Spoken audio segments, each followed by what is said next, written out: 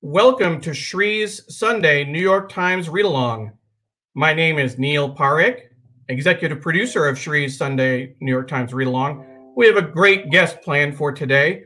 Claudia Dreifus is a longtime New York Times writer known for interviews with scientists, policymakers, and international figures.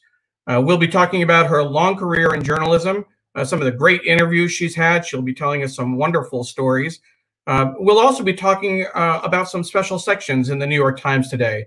They have a new at home section, uh, a photo diary of life uh, in isolation under COVID 19, the New York Times Kids section. we also have a, focus um, on people who we've lost under coronavirus. there's really so much to cover, and we just really want to bring the show to you. So we're going to start off uh, Uh, with a uh, uh, shot of New York uh, from uh, Sree's out Sree's balcony. Um, and Sree, thank you for hosting today, as always. What a, it's a little bit gray outside in New York. It looks like a little gloomy.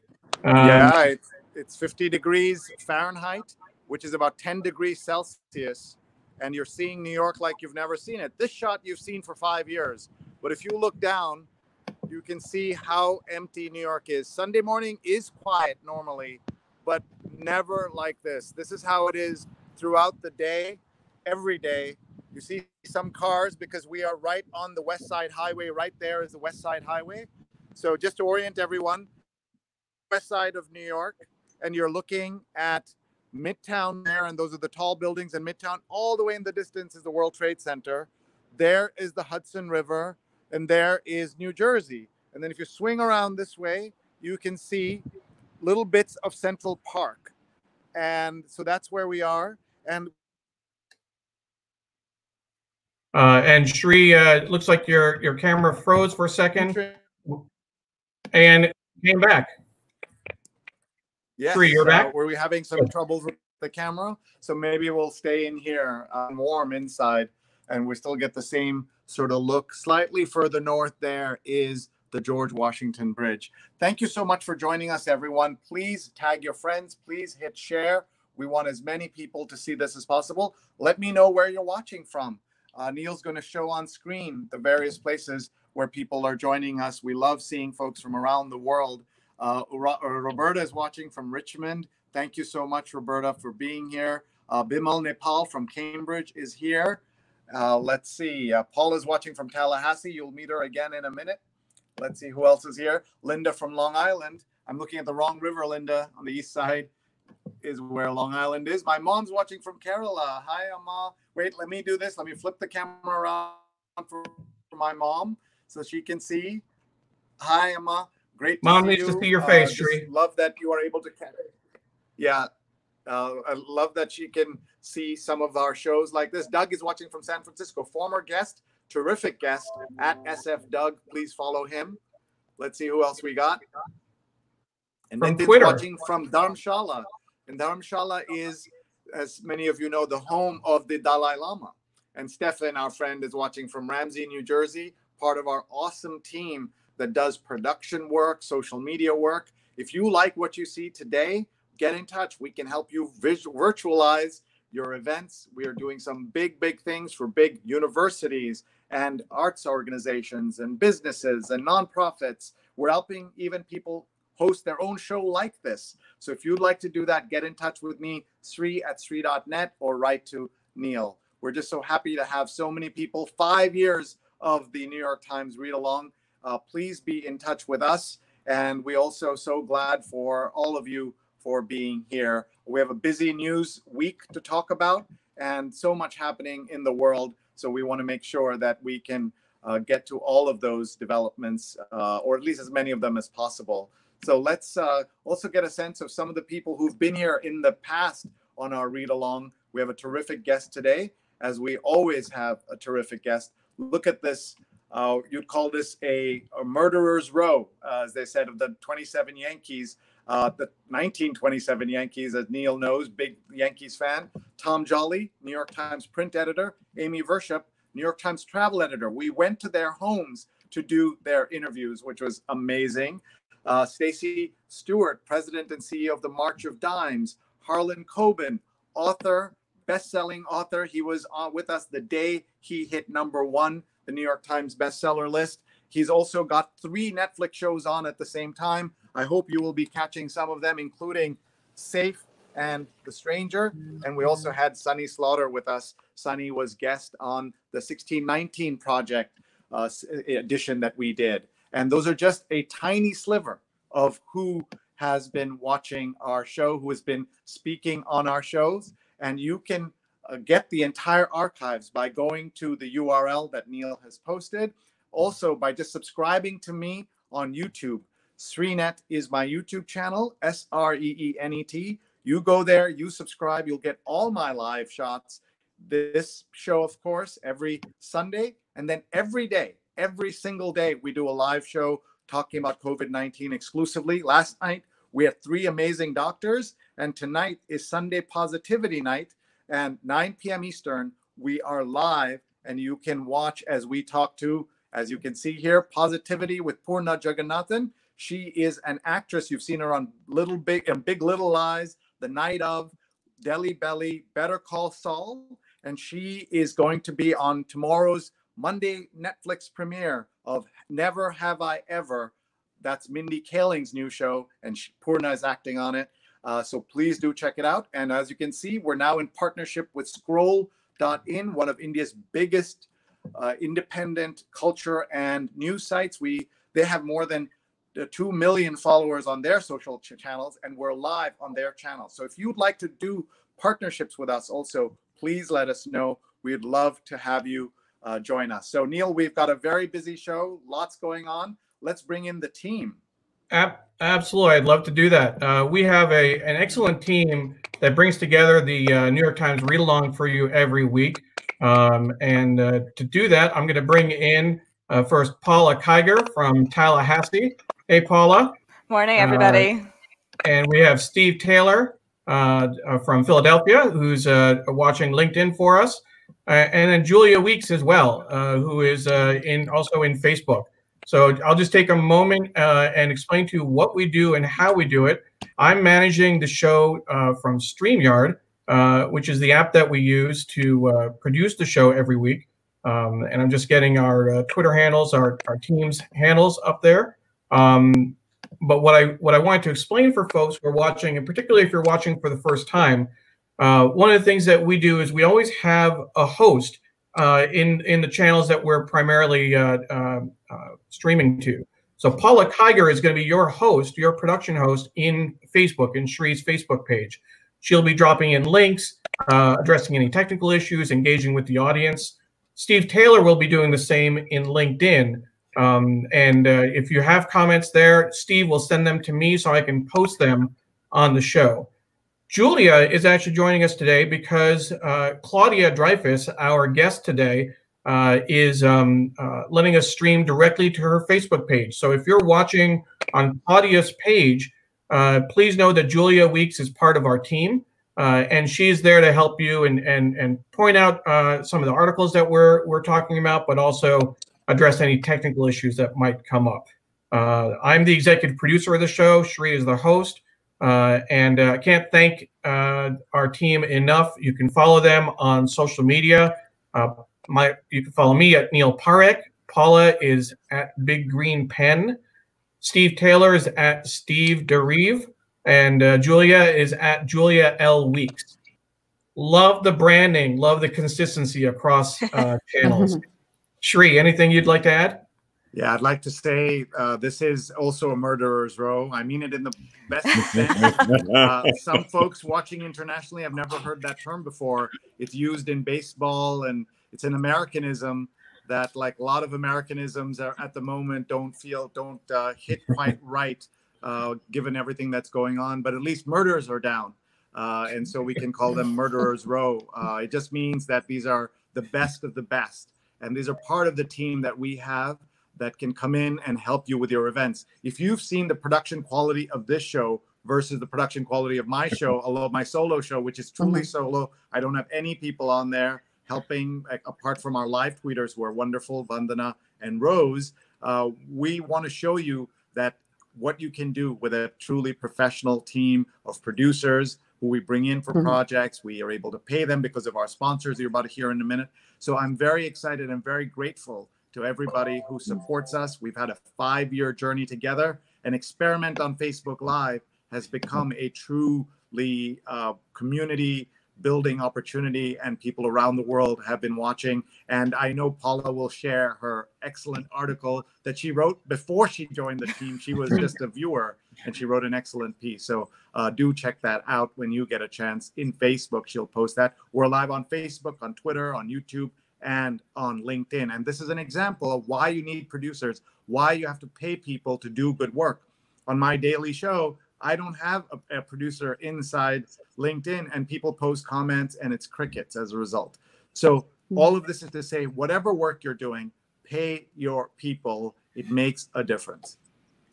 Thank you, Sree. Appreciate it. If you're interested in having us produce a show like this for you, uh, please contact uh, Sree at sree.net, and and we will uh, uh be happy to discuss uh, the possibilities. Uh, I'm going to ask our uh, producers to uh, go back to their stations, uh, if you will, and uh, engage uh, with the audience. Thank you again, Paula, Steve, and Julia for joining us. And I'm sure we'll hear from you later in the show.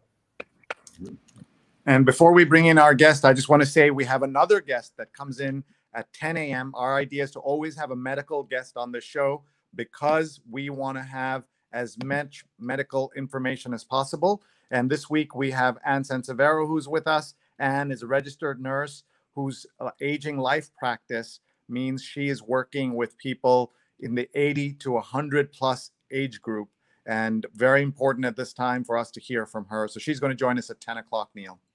And uh, you know, we have a, a, number of people watching Neil Genslicker and, and Carla Baranakis, uh, two friends of the show, former guests, uh, checked in earlier uh, Rochelle Philippak from Hastings on Hudson. We had uh, Monica Perez Navarez from Puerto Rico. Uh, you uh, were able to uh, give your mom a shout out, Sree. I need to do the same. My mom is watching from Hastings on Hudson as well. Thank you, mom. Uh, we have Albert Johari, Dr. Johari, who was our doctor at last week's uh, show. A friend of Paula Kigers is watching this week as well. So thank you. And we want him to come back too at some point. Coming back, absolutely. Um, and uh, we have a, a, a long-term guest, Pauline uh, uh, Misiak, used to watch you when you first started five years ago, Sree. Uh, so oh she, uh, it's great to have her back and watching. Um, so without um, further ado, uh, we should we should take care of some business before we bring on uh, our guest, Sree. Uh, we do want to thank our sponsors for all of the support they've given us. Um, uh, we have three great sponsors uh, Strategy Focus Group, Muckrack, and Tweepsmap. Uh, we really appreciate their support and their um, uh, endorsement of the work that we're doing. Um, so we'll just share a little bit about uh, the work that they do. You know, Strategy Focus Group is a global team of human capital strategists committed to helping organizations solve people issues within your organization. They do that by working alongside you to solve your toughest problems and helping you capture your greatest opportunities. Muckrack helps you discover news as it breaks, easily generate reports, and explore the work of journalists, podcasters, bloggers, and more. Muckrack software helps PR teams build stronger relationships with the media. And if you're a journalist, you might also be eligible for their free tools to identify trends and showcase your work. Tweepsmap helps you build personalized relationships with your audience with focused, straightforward, actionable analytics and an all-in-one intelligent publishing platform. Thank you so much to Ron Thomas, the Strategy Focus Group, Greg Gallant, and Mike Schneider from Muckrack, and Samir El Batran from Tweepsmap for your support of the New York Times Read Along. If you are interested in uh, um, uh, sponsoring the New York Times Read Along, please feel free to email me, neil at neilparekh.org and we'd uh, love to uh, talk to you about sponsorship opportunities. Uh, with that, Sree, um, I know you have the paper laid out. Uh, I want to make sure that we bring in our, our guest, Claudia Dreifus.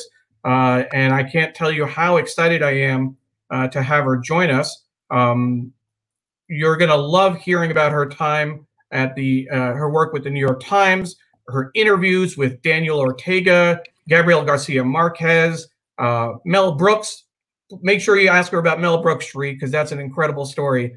Uh, there's just so much to, to ask her about. Um, so without further ado, I'm going to bring in uh, uh, Claudia Dreifus to join us on the show. Uh, Claudia, thank you for joining us. I'll step out, and uh, Sree, I'll leave the show in your uh, in your hands. Thank you, and hi, Claudia. You are amazing to join us on a Sunday morning. Uh, uh, we have seen this shot before. Tell us why we know this room in your house. Well, uh, my husband, Andrew Hacker, the political scientist, was on your show two weeks ago promoting his just out book. Let me hold it up. I, I know how to do this. Um, his book is called Downfall The Demise of the President and His Party. And it is about topic A these days. Yeah. And so uh, thank you for arranging that. And thanks for being a guest. You were, you were a, a great promoter of your husband because when we started talking, you know, you, you had him go first and then here you are. Diane is watching and she says, awesome Sree Sreenivasan Dream Team, Paula Kiger, Steve Taylor, Julia Weeks, and Neil Parekh. Thank you very much. Roberta says, You've inspired me at the Virginia Faith Interfaith Center to launch our weekly broadcast. Uh, I'm so uh, delighted that you could do that. Uh, Claudia, tell us a little bit about uh, why this paper matters. You see this laid out in front of you.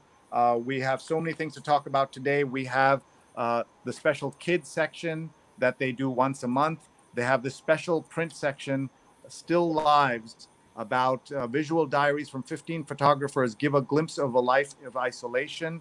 And then the biggest news of the week, or uh, for a long time in the New York Times, that they launched a new section, weekly section called At Home. And uh, this is uh, combining parts of other sections that they're going to not uh, do separate stories or separate sections on, including the travel section. This is going to be the last week of the travel section until travel is possible. Again, travel stories will continue to run, but not this way. Okay, so let's uh, get Claudia's thoughts. What does this newspaper mean to you first? Well, first of all, there's nothing like it in the world. It is the greatest newspaper in the world, and I, I say that as both a reader and, and, and an occasional writer for it. Uh, but more than that, in it's it's it's evolved into something fascinating. When I first began writing for the Times in 92, it was, as they say, the staid gray lady. It is incredibly creative this, these days. I mean, things opened up in a way that no one could have imagined. Uh, there's a lot of different things in the Times each week, but the degree to which it's been experimental, the degree to which they've really tried to do new things and integrate new media, they fail sometimes. Some of it doesn't work, but they're trying. And uh, I'm just astounded at all the fascinating things that are being done. The children's section is just wonderful, but uh, you're always astonished. The other thing is it's on paper. And I, I teach at Columbia University. I teach graduate students in the sciences, but I teach them journalism. And I always have them read at least the Sunday paper, one paper because you see things that you, in a context, you see things that you wouldn't see if you just logged in. You see the past, the present, you see how it relates to one another. If you just log in, which is a good way to work too, but uh, you only find what you're looking for or what's on the front page. You don't find what the whole world is looking like this moment. And that's in the Sunday Times. Thank you. Let's actually look at the Saturday paper for just a quick second, just to compare what has happened, because so much is happening all the time, Claudia. Here is three states ease limits on a public that's still wary, and that continues. And Trump uh, speech creates a risk at West Point. So there, he's supposed to speak because he adores the risk, uh, the pomp and circumstance uh, of the military. He wants to be associated with it. But this headline, Trump speech creates a risk could now be about almost any story or anytime he's speaking because we have seen that he's able to cause direct problems when he speaks and chaos. He's been he wanted to be called the chaos president. He loved embracing chaos. He's now causing it as we see as well. But let's look at the front page of the New York Times. Tell me as you look at this, you were saying, you know, it's no longer the gray paper. what is the layout here? What is the use of photography? Let's uh, get some of your uh, critique uh, slash uh, philosophy as you look at this. Well, uh, I, I let, let me say, uh, not the your, your previous statement might have been misinterpreted. I what I said was that in the past it was the gray lady. It's not gray anymore. Uh, it is vibrant, lively, full of color, um, very exciting, uh, and very experimental at the same time being factual. So uh, I have to confess I'm, I'm worse than one of the students who didn't do their homework. Uh, what what my paper just arrived. So I haven't seen the front page. You're going to have to do the interpretation for me. By the way, our uh, paper delivery man, Rod Anderson, he lives in the Bronx and he gets up often at five, three in the morning to get down here to Midtown Manhattan to deliver our papers. He's a fabulous person. We're, we're so grateful that he does this. Talk about essential workers. This is essential too it keeps us in touch, especially since we're now homebound. So I, I rather I, I have a note from my doctor. The paper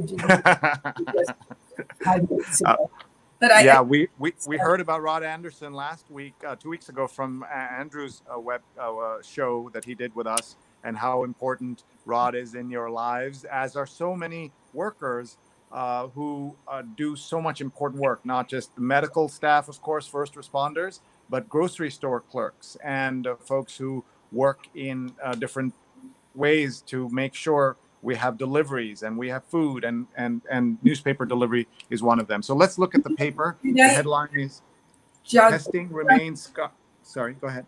I wanted to jump in on a point you made, which is very important and very moving. Um, one of the upsides of this terrible moment is at least people are recognizing the dignity of work and people who work every day uh, we had gotten away from that and we, just started seeing them and it, as sort of automated pieces of our lives. No, these are people who make our lives move. And I think people are understanding that it's seven every night in the city. People go downstairs and they, they applaud each other and they applaud the people who are making their lives still still come together. And I think that's great. Absolutely. Absolutely. I nowhere. Yeah, no, I, I love that. I think it's wonderful. And uh, the dignity of work is something that we all need to appreciate. And also, there's that word, Claudia, that people use unskilled labor. Turns out so many kinds of unskilled labor turn out to be essential. So, how do we go from uns- who decides these words and why we pay them or why we uh, deal with immigration or and immigrants who are deemed worthier for in some ways? And that's one of the things that uh, I'm, I'm always um, thinking about. Okay, uh, let's move on here. So these are the two big stories there. And then held together by prayers and duct tape, University Hospital of Brooklyn lays bare disparity in health system. We're so proud of America's health system. And uh, we've also seen the worst elements of how this disparity plays out. Prescriptions rose as Trump praised drugs. This is where I believe that everyone who has said that Trump says it like it is, and Trump is absolutely, uh, you know, just sharing what's on his mind. The president shouldn't be sharing what's on his mind. The drugs that he recommended, including hydrochloroquine, has turned out they've stopped a lot of the trials because they are not effective and they're killing people. And that's so sad. A city struggles to isolate the ill as cases surge. This is in Chelsea, Massachusetts. And over here, no black backslapping and no rallies. Life of the cloistered candidate. And one of the things that I posted this week is uh, there's not a political thing, but to say, why do you not see more of Joe Biden? So this article looks like there is more of Joe Biden than I know about, and he's going out there. So I think that's going to be interesting to see how all of this plays out. For anyone who has who says that the election has been decided already, that Trump, with all this chaos, will definitely be uh, will definitely lose. I want to remind you that on October 12th, uh, that is less than a month before the election, the tape of him saying he grabs women's genitals aired and he was still elected. So nothing can be predicted about Donald Trump. I've been wrong since he came down that escalator on June uh, of 2015, and I imagine we'll still be wrong as we go forward. Okay, uh, let's go in here. Let's see what else is in the paper. We love reading about what's happening. Here's an article about the weekly at home section. We'll give tips for working, playing, and coping inside. I hope what to watch. Here's a uh, a story that's kind of sad as we look uh, the happiest place on earth. Uh, Disney goes live with its newest park. It says in 1998, the uh, new Animal Kingdom. Uh, the Times was gently charmed, if, if perhaps a bit underwhelmed. There's an impressive collection, but like Noah's Ark, it's limited in numbers. And this was the article that came out. And of course, Disney's parks are closed now around the world. One uh, one uh, analyst said he doesn't expect them to open till January. That does not mean that's what's going to happen, but that was an analyst who has been right on other calls saying that. And we don't know. And that's one of the things we all need to say more often. We don't know. Uh, here's our students can learn to write through the pandemic. Here to help is a section. So the Times is filled with these little inventive sections, little things, big things Here's an ad. We love looking at the ads. America's Food and Retail Union talks about let's work together to save lives. And uh, again, those workers are making a difference. It's a slap in the face. Many victims are angry that jails free, freed inmates. And how much of that story is true, how many were freed, what that meant, all of that we need to know as we uh, go along. How about this tiny story here? Johnson Aide took part in secretive virus panel the British government came under heightened pressure to disclose details about a secret scientific advisory group after a report on Friday that a top political aide to Prime Minister Johnson had taken part in the group's meetings on the coronavirus pandemic. And so it'd be interesting to see what happens. Uh, as we know, the Prime Minister did not take the virus seriously, just like Trump did not. And then he himself fell ill, uh, gravely ill. He recovered. We wish no ill to anyone but it shows you that people are not have were many people were not taking this seriously. Uh, let's see here more ads. The UPS store. Key, thank you for keeping your lights on so that others can too. They have 4,900 stores in the US. You can imagine that's 10, 15,000 people who work in their physical stores. And here's an ad for the census. The census must go on, and uh, it's by it, it, it, it, by law it has to be counted every by the Constitution. The U.S. population be counted every 10 years. How will they do it? When will they do it? Uh, what will happen? Uh, big, big question. And amid lockdowns, couples scramble to tie the knot before Ramadan. So this is a story from the Middle East in Cairo. And look at this image. You know, Claudia, I think when we look back at this period, there are going to be images that are as legendary as some of the images out of other crises in the past. And images like this of families celebrating in isolation or with masks will be among them. I kind of stopped existing. Foreign students are stuck and reeling. And this is a story about what's happening uh, with American students. We heard the story of Andrew Hacker, who teaches uh, in uh, Queens College, and how he uh, uses email rather than Zoom to teach his students. So he has everyone sitting at their desk at say 10 o'clock, and then they all he emails them a question, and then all 25 of them reply by email. I think it's very inventive and very clever what he's doing.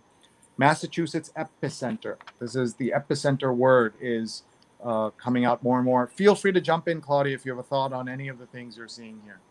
Well, you know, I have a thought on on just uh, creativity in general. The, the paper uh, has one of the things that, that, that's so interesting and creative is they've had to work without being in the field. And, and yet somehow they've managed to find these incredible stories without sending people out into the field that are in danger. Um, the way people have comp- compensated in this difficult difficult situation is just remarkable. I mean, the stories are good, they're strong, they're well reported. But at the same time, you know, that kind of look around in your world and see how you can do it. Uh, capacity that exists at the Times, I think, also exists in other spheres. Everybody's doing this. I, one of the things I always tell my students is, you know, look in your world, use your world, uh, use your own experience to figure out what are stories and where you can see them. And at the beginning of the semester, I said to all my students who are not that used to going into the field, getting information, using their notes, using what they see as real information. And one of the things I did was say to them, you absolutely cannot write anything from story. I want you to go out there, I want you to talk to people, I want you to learn stuff. Um, so now, halfway into the term, they were talked off campus very wisely uh, and sent home. And indeed, I've asked them to write from their experiences and from their memory because they can't go in the field and they're writing great stuff. And all of all of this crisis is kind of showing us how to MacGyver things, but from our home base, and it's really interesting. Um, just using Zoom has been fascinating. Uh, we're, we're going to see a lot of great art and a lot of great different kinds of reporting just developing from this situation. I bet journaling is going to be really interesting and people's own diaries and their own personal writing. It's going to turn out to be interesting. Wanted to show you, thank you so much. I want to show you this, uh, you know, Tyson chicken, the company, they say a delicate balance feeding the nation and keeping the employees healthy. But they've also rebranded that I missed. They're now called the protein company instead of the chicken company. And that tells you that a lot of people are looking into meatless products including soy protein and of course Beyond Meat and things like that. And that's what you're what you're seeing uh, here. I'd love to have our, our our guest Claudia Dreifus, longtime writer of the New York Times, to just tell us her own New York Times journey. How did she get there, or her entire journey a little bit? Tell us how she, you know how she started her journalism, how she ended up at the New York Times, what the Times years were like. She still writes, and some of the highlights of some of the interesting people she so we're going to give her a few minutes to kind of dig into that. Wow. And uh, we'll just, before we go, I'm just going to show here. This is five ways to monitor the pandemic in the US. Great graphics in the New York Times, use of color like this, and uh, telling the story in important ways. Uh, here's an ad for Facebook. Who would have thought you would see a print ad in the New York Times, double truck as they call it, and uh, parents supporting parents is an ad for this group. So it's an ad for a Facebook group. They had it at the Super Bowl, but now they have it in print and a third page. So this is all good uh, for the print newspaper that they're doing this. But let's get to Claudia Dreifus and her story.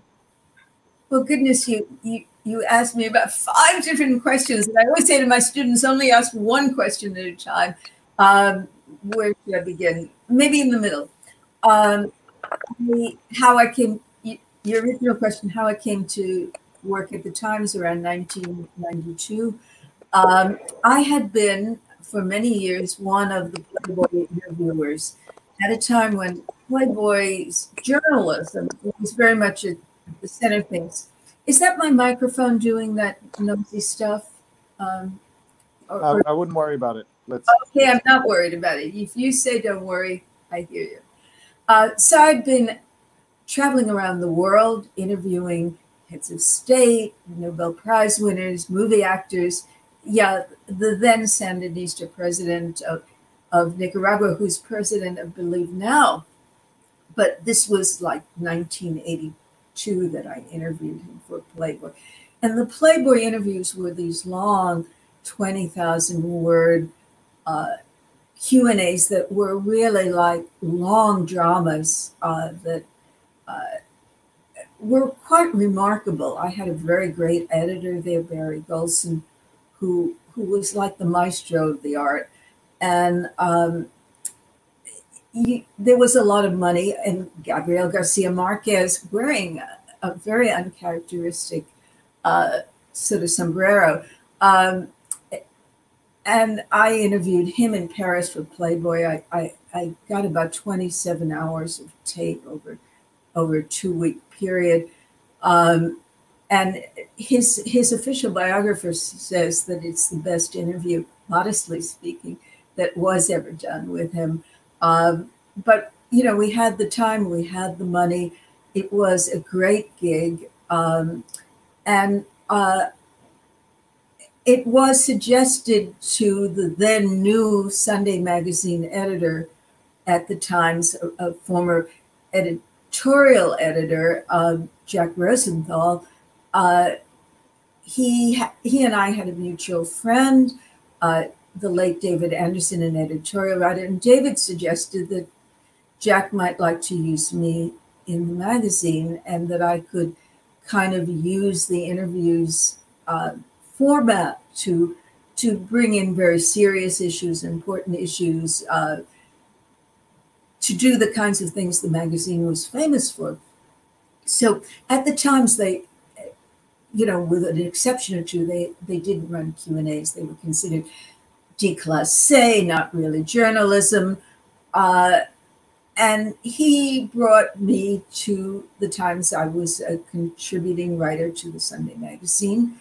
And uh, I then had the best job in the world because, you know, one of the things about being at the Times is it makes you, if you're a good journalist, it makes you an even better journalist because you can get anybody in the world on the phone. Unlike at Playboy, people didn't turn me down. They almost never turned me down for an interview.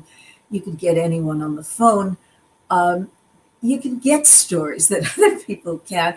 And um, I, I, I always say that I, you know, I'm glad I had a, a reputation and a career before I ever was associated with the Times, because otherwise I would have thought that all this access and all this great journalism was just me, but it wasn't. It was a mixture of me and the fantastic uh, brand that the Times is. People want to be in the Times. Uh, even, you know, I, I would I'm told that even Donald Trump wants to be in the Times, um, and and is very solicitous and cares very much what what what they think. Now you're running a picture of Mel Brooks. Uh, that was not for the Times, but it was one of the worst interviews I ever did. Um, and sometimes when you're doing a Q&A, you know, Q&As are so dependent on your sources whether they're talkers, whether they have good stories, whether they're willing to share them, what kind of mood they're in. Um, and um, my experience has been oddly that really funny people make for really grim interviews very often. Garcia Marquez was very solemn. And Brooks, who I was interviewing for a different magazine, this was the year 2000, the anniversary of the great Mel Brooks, Carl Reiner um, record, the cult record, 2,000 year old man. And you, you know who the 2,000 year old man was. He was the guy who dated Joan of Arc. He was the guy with 2,000 children, but none of them ever visited. Um, anyway, I went to uh, California to interview Mel Brooks and Carl Reiner. And um, the sit of, of the record that was so important to all of us when we were growing up was that uh, the 2,000 year old man is being interviewed. Um, uh, uh, he uh, he's interviewed by a journalist, Carl Reiner, and and Carl Reiner is the straight man, and Mel Brooks is the funny man. Anyway, um, I get to California to I I think uh, the Ritz Carlton there or one of those uh, the Four Seasons to do the interview, and uh, both of them are very involved with the photographer who they like a lot and who uh, I chased from the room because I, I find that if I'm doing a Q&A, you don't want a photographer in the room. You don't want that, if you can avoid it, um, you don't want them fussing with machines and, and taking pictures and distracting the kind of uh, bond you have to quickly establish with your source so that they tell you something that matters. Uh, so that they respond to you. And, and, it's not it's not an easy skill. You walk into a room with a stranger, and you got to get them to to tell you their their deep stories. Um, the best interview I ever did, Cher. She she you walk in and she's there. It's not she's one of the best anyway. Um, but I walked into the room and Mel Brooks was involved with the photographer, and uh, I had prepared a very, very strong interview, I felt. Uh, and I asked him if his writing about Jewish themes was his way of negating the Holocaust. And he looked at me squarely and said, I don't write about Jewish themes. Well, what do you do with that? I mean, you know, it's a dead bomb. Usually I have questions, I have follow up questions in case it goes in one direction or a bad direction. But I was absolutely, as they say, gobsmacked. I mean, I, I was dead in the water. I didn't know what to do. Well, Carl Reiner saved me. I mean, editors do not want you to come home empty handed. No way. They want, no matter what, you got to bring the goods. So um, Carl Reiner sort of lapsed into his character in the 2,000 year old man and started saying, Hey, Mel, didn't you um, do the 12 chairs? And, um, and didn't you take Joan of Arc? And he started creating this three way interview. And Brooks would re- respond to his old buddy, um, but not to me. Um, it kind of reminded me of the time when I interviewed Aung San Suu Kyi for the New York Times. Uh, and she had been under house arrest. That is the now uh, leader of, uh, uh of Burma, uh, of Myanmar. And uh, she, she had been under house arrest for many years, but there was a brief period in the 90s when she was not. And I recognized that when we did the interviews, she didn't respond to me at all. Uh, some there were women of a certain age who just didn't see other women, and she was, I thought, sort of like a man's woman, as the phrase was. Uh, and I'm going to move over a little more to be on camera. I get notes that ah, Sree, hello, good morning. Uh, anyway, am I more centered or less? Yes, no. Um, um, uh, I, I can't hear you, whatever it is. Uh, so I'm saying you might want to move the screen over just a little bit. How, if you can, if the I, I don't laptop, want to you can move the laptop at all. It's not a laptop. It's it's a desktop, and I can't move it. And I yeah, don't. If the, if the if the screen can move a little bit, great. Otherwise, don't worry. You're you're doing great. Thank you. You know, I do people watching all over the world. Yeah, sorry, people all over the world. I'm uncensored, but I'll, I'll do the best I can. Let me finish the story. Uh, so um, she just, you know, I traveled like thousands of miles. I had gotten one of these rare, difficult visas. A lot of what you get is a fluke. Um, and I, a member of Congress had negotiated it for me, and that's that's how it happened. Uh, it, it it was just lucky, and I was there. Uh, and she just was ignoring me. She wasn't relating to me. Um, and I realized she she would I would ask her a question and she would answer to my photographer who was very talented magnum photographer but I wasn't in the room. So I began just addressing questions to my photographer uh, and she would answer them. And then I would address another question to Steve and then she would answer. It was like doing simultaneous interpretation but in English. Um, so you improvise. Sometimes you need an intermediary, whatever works, whatever works. So, uh, yeah. Uh, let's see some of the comments that have been coming in. Danielle says Claudia is the author of the book Interview, a compendium of interviews with persons including the Dalai Lama, Dan Rather, Toni Morrison, Benazir Bhutto. And as we said, uh, Nitin's watching from Dharamshala, where the Dalai Lama lives, yeah. uh, as, where he escaped to, as you know. And I love that you met the Dalai Lama, says Anne. And so people are responding. Yeah. Uh, he said it was. Uh, Mark says, I irritated the Dalai Lama. Ooh. Ooh. I yes. Do you want to hear that story? Of course, please. Yeah. Well, uh, the AARP's magazine had us. Oh, it wasn't the AARP's magazine. That was later.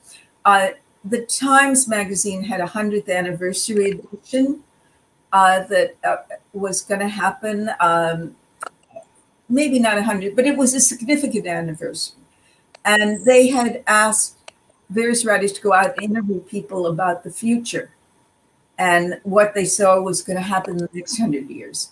And so I went to talk to the Dalai Lama, and this he was giving a speech in Indiana.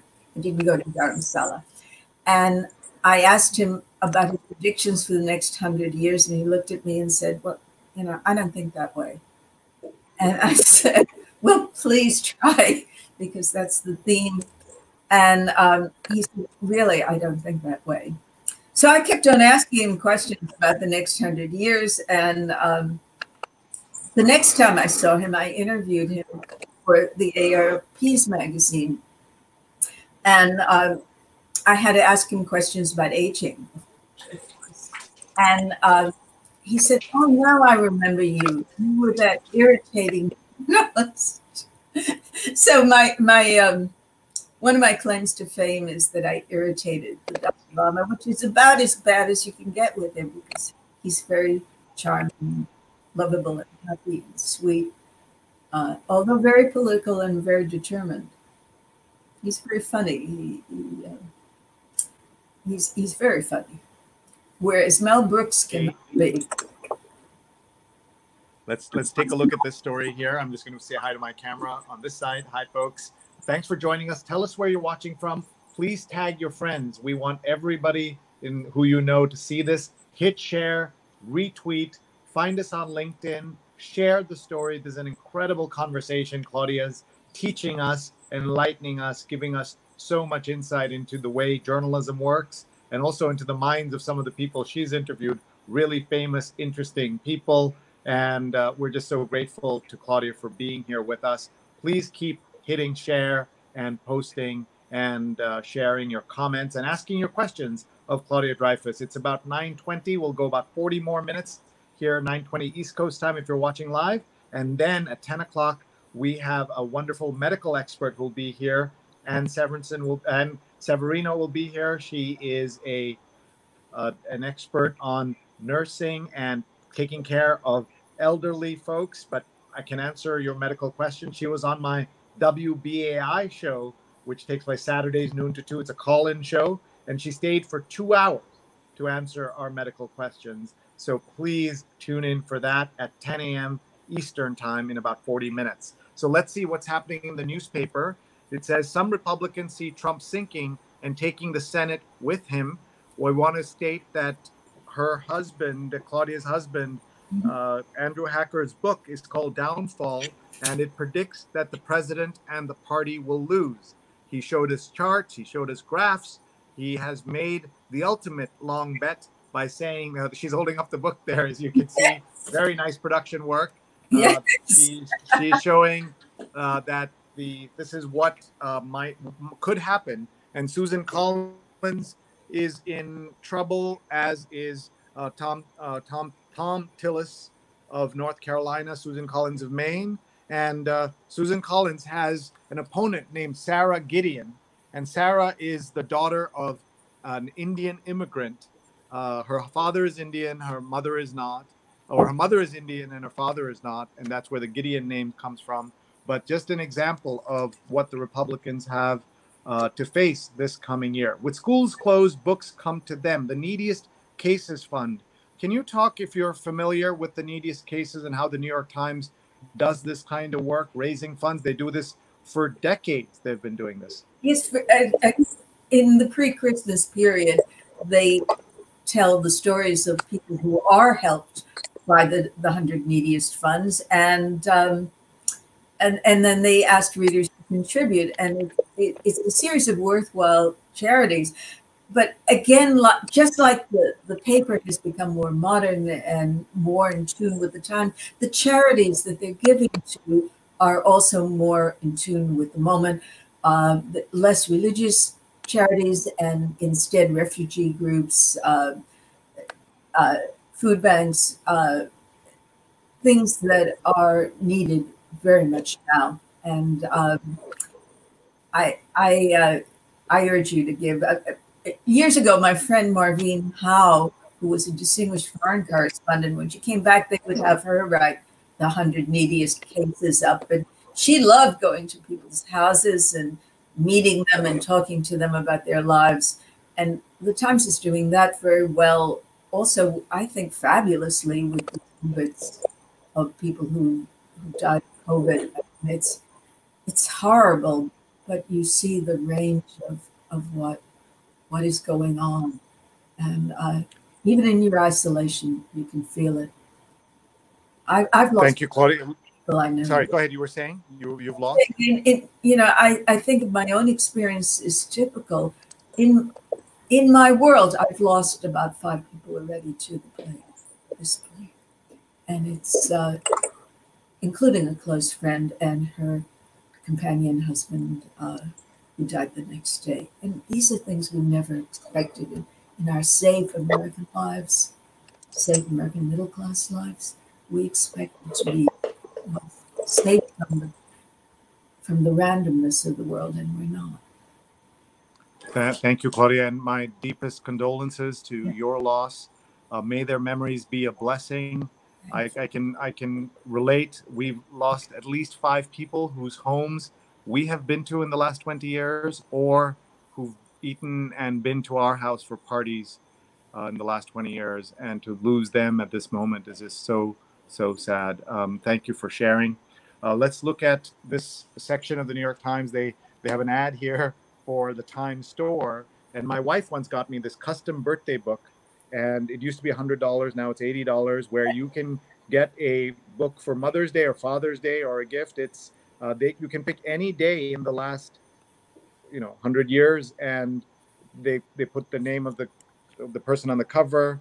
And so my wife got me one for my birthday, October 28, 1970 and uh, uh, one one one item of dispute is: Do you get the book? Do you get the day uh, you were born, or the day after you were born? Because of course, the news of that day is from the day after. But I'm sure um, most people will not; their births will not be covered on that day. So it's okay to get them the day they were born. That's the paper.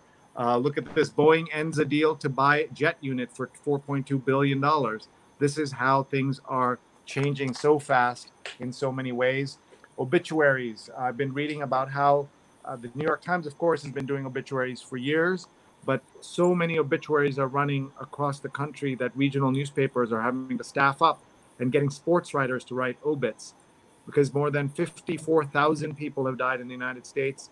58,000 died, soldiers and, and servicemen and women died in Vietnam and now you're seeing that number happening in just two months and that's the uh, problem. John uh, houghton 88 scientist who sounded alarm on climate change dies in 1994 he urged the world to do what we can now and not wait 20 or 10 or 20 years. And it's so sad to think that people like him were ignored in many ways but because or because of things like politics. And here are more obituaries running the soundtrack of New York. Now in Manhattan, you hear these ambulances all the time. Those we've lost is a section here online that Neil is showing us as they're trying to uh, look at people just beyond the numbers. And there's a nun, and there's a World War II vet, and a civic leader. Look at these ages, right? 78, 41. Fred the Godson, a New York a New York rapper, John Houghton. There he is let's just see this list. Uh, Iris Love, 86, style, uh, style, uh, Abba uh, Kyari, staff, chief of staff to Nigeria's president. So you get a sense of this, uh, how, how sad this is. Uh, speaking of sports, as we did earlier, this is the sports section is now the Sunday sports section, which has always had so many stories, is now online. I mean, now inside the paper. I'm sorry. Uh, the draft filled a void, but what happens next? Thanks to his signature shot, Duncan can bank on the Hall, and this is about Tim Duncan going to the uh, uh, Hall of Fame. And uh, here's Tom Brady and this video of this uh, these friends playing tennis or at least doing some rallying across rooftops in Italy. I thought was just amazing and will be one of the memories that I carry with me of of this uh, entire crisis. Uh, let's let's take a look at that at home section, which, uh, as you heard, uh, this is now a new section that will help you work and have fun and know what to read and even five weeknight dinners that you can cook. Because I will tell you that my wife is standing here near me. Uh, she's not camera ready, but she says uh, she's been saying how much harder everybody's working on her team, her friends, herself. I see it every day.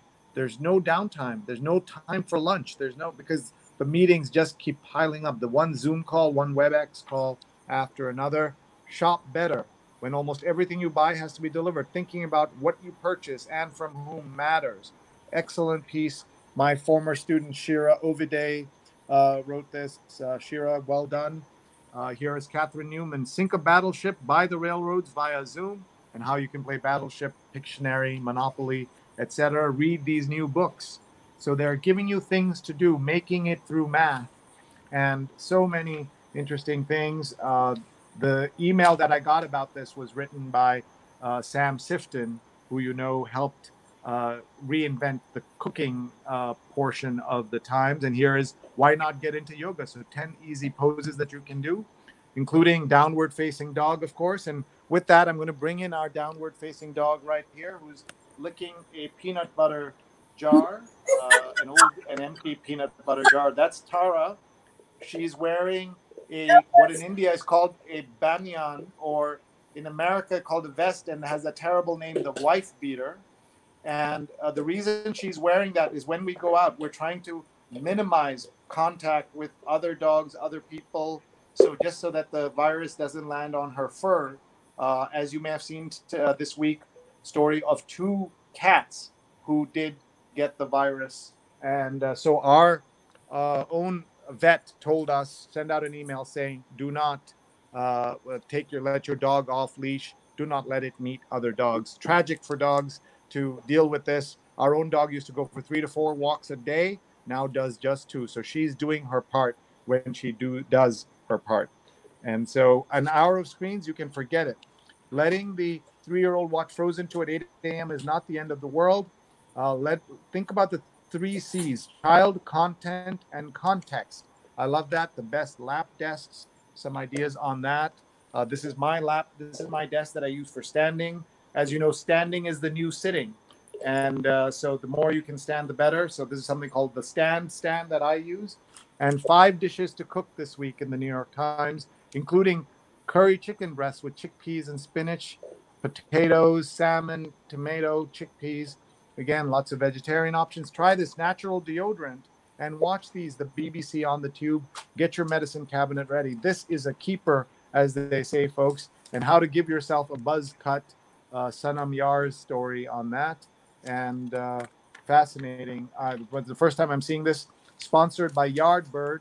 Finally, affordable outdoor furniture, free, fast, contactless delivery. I love it. So uh, please check out the at home section. And then we will say a whimsical goodbye to the travel section or a wistful wrong word wrong english word there. I meant to say uh, uh, wistful and i used the word whimsical uh, the travel section. First let me ask claudia what do you think of the home section as you saw it through my lens? I, I and now and i'm going to read it the minute we get offline. But can i relate to one of the stories you mentioned republicans being scared uh, of, of losing the Senate. I have to tell you again about my hubby's book. Uh, when he first started working on it uh, two years ago, really after the 2018 election, he said to me, uh, "I think, I, I think that Democrat, any Democratic candidate can win in in into 20, uh, in 2020, and I think the Dems have a 50-50 chance of taking the Senate." And I said, you know, from here I'll make a partisan statement from from your mouth to God's ears. Uh, but uh, his he said, no, I, I'm looking at the numbers. He's a political scientist by profession. Um, and he uh, he doesn't look at polls, he doesn't look at focus groups, he doesn't do futurist punditry. He looks at numbers. He says, I look at what people do and what not what they say. And when he analyzed voting patterns, this is what he saw, well ahead of anybody else. Uh, he exactly predicted what uh, what is in that story in the news section today. And people rather thought he was a bit off the wall with, with these predictions. He's kind of unafraid of, of doing uh, contrarian things. So he, he, he went for it. And the book just was published this week. And now there it is on, on the front page of the paper, a similar assessment to what he was predicting two years ago. Thank you. Thank you, Claudia. I'm just going to turn the camera around here so we can. So forgive me for being tacky and promoting my husband's book. Um, but these days, uh, one of the one of the truths about book publishing at this moment is that all the regular forms of getting your story out there are not present. On Monday, he was to have had a fantastic launch party that his friends Dan and Joanna Rose were going to give him at um, at the Century Club, at the Century Association. Well, that's not going to happen. But when you consider all that people are losing these days, it's a lot more than book tours. So uh, we're very grateful in any case. Uh, but it's hard to have a book come out this moment we understand that uh, one of the things that my team has been doing is virtual book launches for authors as we uh, instead of having a party on the upper west side as one of my friends did we said to them that you can uh, have a party for the entire planet watching. And this is what we did with marco greenberg. And he had six oh sorry four of his uh, subjects of his book come on. And we had just a good time. And there was a, a chance for us to do a virtual toast to marco. And his book is called primitivebook.com. You can check it out. Primitive is the name of the book, and how tapping the primal drive that powers, uh, how to tap the primal drive that powers the world's most successful people. So, an example of the kinds of things we've been doing, Claudia, including a Holocaust memorial two hour program that we did for our friend Ann Kirschner.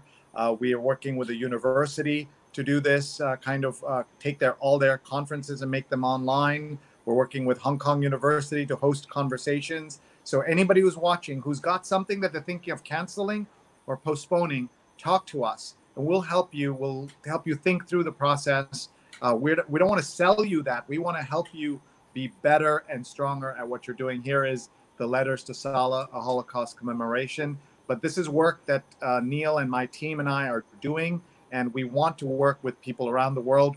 Uh, and we got to do celebrate the 456th birthday of William Shakespeare. And we did an event with 12 of the biggest organizations in Stratford, including the Shakespeare Birthplace Trust, as well as uh, the Royal Shakespeare Company and the mayor of Stratford. And we had them all on a show and celebrating the the uh, birthday parade had been canceled for the first time in a, in 200 years, and we brought it back, but online. And my team were very proud that we did this. It took us 70 hours from idea to execution. So anybody who wants a party, who wants uh, help with anything they're doing, contact us. We even have someone who's specializing in making online bar mitzvahs work better. Anybody can do anything online. We can help it be better and a better experience. So let's move on and let's talk about. Uh, we have so much more of the paper to go and so much more of Claudia's life to talk about and work. Uh, and Laura says this is not tacky. Why shouldn't you promote it? Uh, the, the, thank you, Laura. Laura is a great former guest on the show and a great supporter. We should promote people want to read good books. Why not read Downfall, The Demise of a President and His Party by Andrew Hacker, who is also known as the person who lives in that apartment and sometimes uh, also gets to read the New York Times when uh, Claudia is not reading it. He never forgets to or uh, all right, uh, let's move on. I'm going to I'll flip the camera here. That so this is a mistake that I made. I uh, Neil gave me the chance to flip the camera when the overlay card came on, but I was too busy talking to Claudia to to do that. So I'm going to flip the camera now, and we have James Ferrari. Is that Jamie Ferrari, the higher? Is he the higher ed consultant that I once interviewed? Uh, he will tell us uh, if he is. And here's the travel section of the New York Times. We're just going to flip through this. We will not see the travel section of the Times for a while. One of our favorite sections, most popular. We interviewed the former editor of the travel section, Monica Drake, three times on this show. And then we went to the home of Amy Virshup, the current editor. And the work of the travel section will continue, but the travel desk, but it will not be its own section for a while and this is Sarah Khan uh, talking about an old city anew. This is Hyderabad in India. And I'm just so sad about losing the opportunity to travel. I'm blessed that for my work, I got to travel two years ago. I traveled 275,000 miles. The carbon footprint wasn't good, but getting to see my family in India four times, my parents, my brother in uh, in Dubai, I saw him twice this year already. I'm very blessed but now very, very sad to be so far away. Trouble in paradise as boaters seek refuge. The U.S. Virgin Islands provides a haven during the pandemic, but presidents fear uh, residents fear the cost. One more section, special section, uh, just new still lives, visual diaries from 15 photographers give a glimpse of life in a time of isolation. We're just going to quickly look at these pictures as Neil and his team will share the link, if there is one, because one of the things that Tom Jolly told us is that they're trying to get as many special things done in print, compilations, features, curated content, so that people would have a reason to buy the print paper. And the New York Times has also given away free access to all Corona crisis coverage of uh, in the paper, so people can see that. Beautiful photos, very very sad photos of isolation, and then the kids section of the New York Times. We read that. That means it's been a month, Neil, since we had the kids uh, because we had two young men join us, young boys, a 13 and a 15 year old who joined us and read uh, the New York Times with us. They were awesome. And uh, so here you have the New York Times, You Are Not Alone, and trying to help the kids, teach the kids, have fun with the kids. And this is Amber Williams, who is the editor. Uh, and this is a uh, an offshoot of the New York Times Magazine. Soap is awesome. Why is it spreading so quickly? Why six feet specific distance? Will there be a cure? These are questions not just kids are asking, but everyone is asking. And here's my friend Apoorva Mandavilli's breakthrough in the New York Times, her first piece in the New York Times. She has joined them, and I'm so glad she's doing so that. Brilliant. She's fantastic. Yeah. yeah, Apoorva is terrific. And I wanted to just say that last night on my show, my daily program that I have, we interviewed uh, three doctors, uh, all with immigrant backgrounds.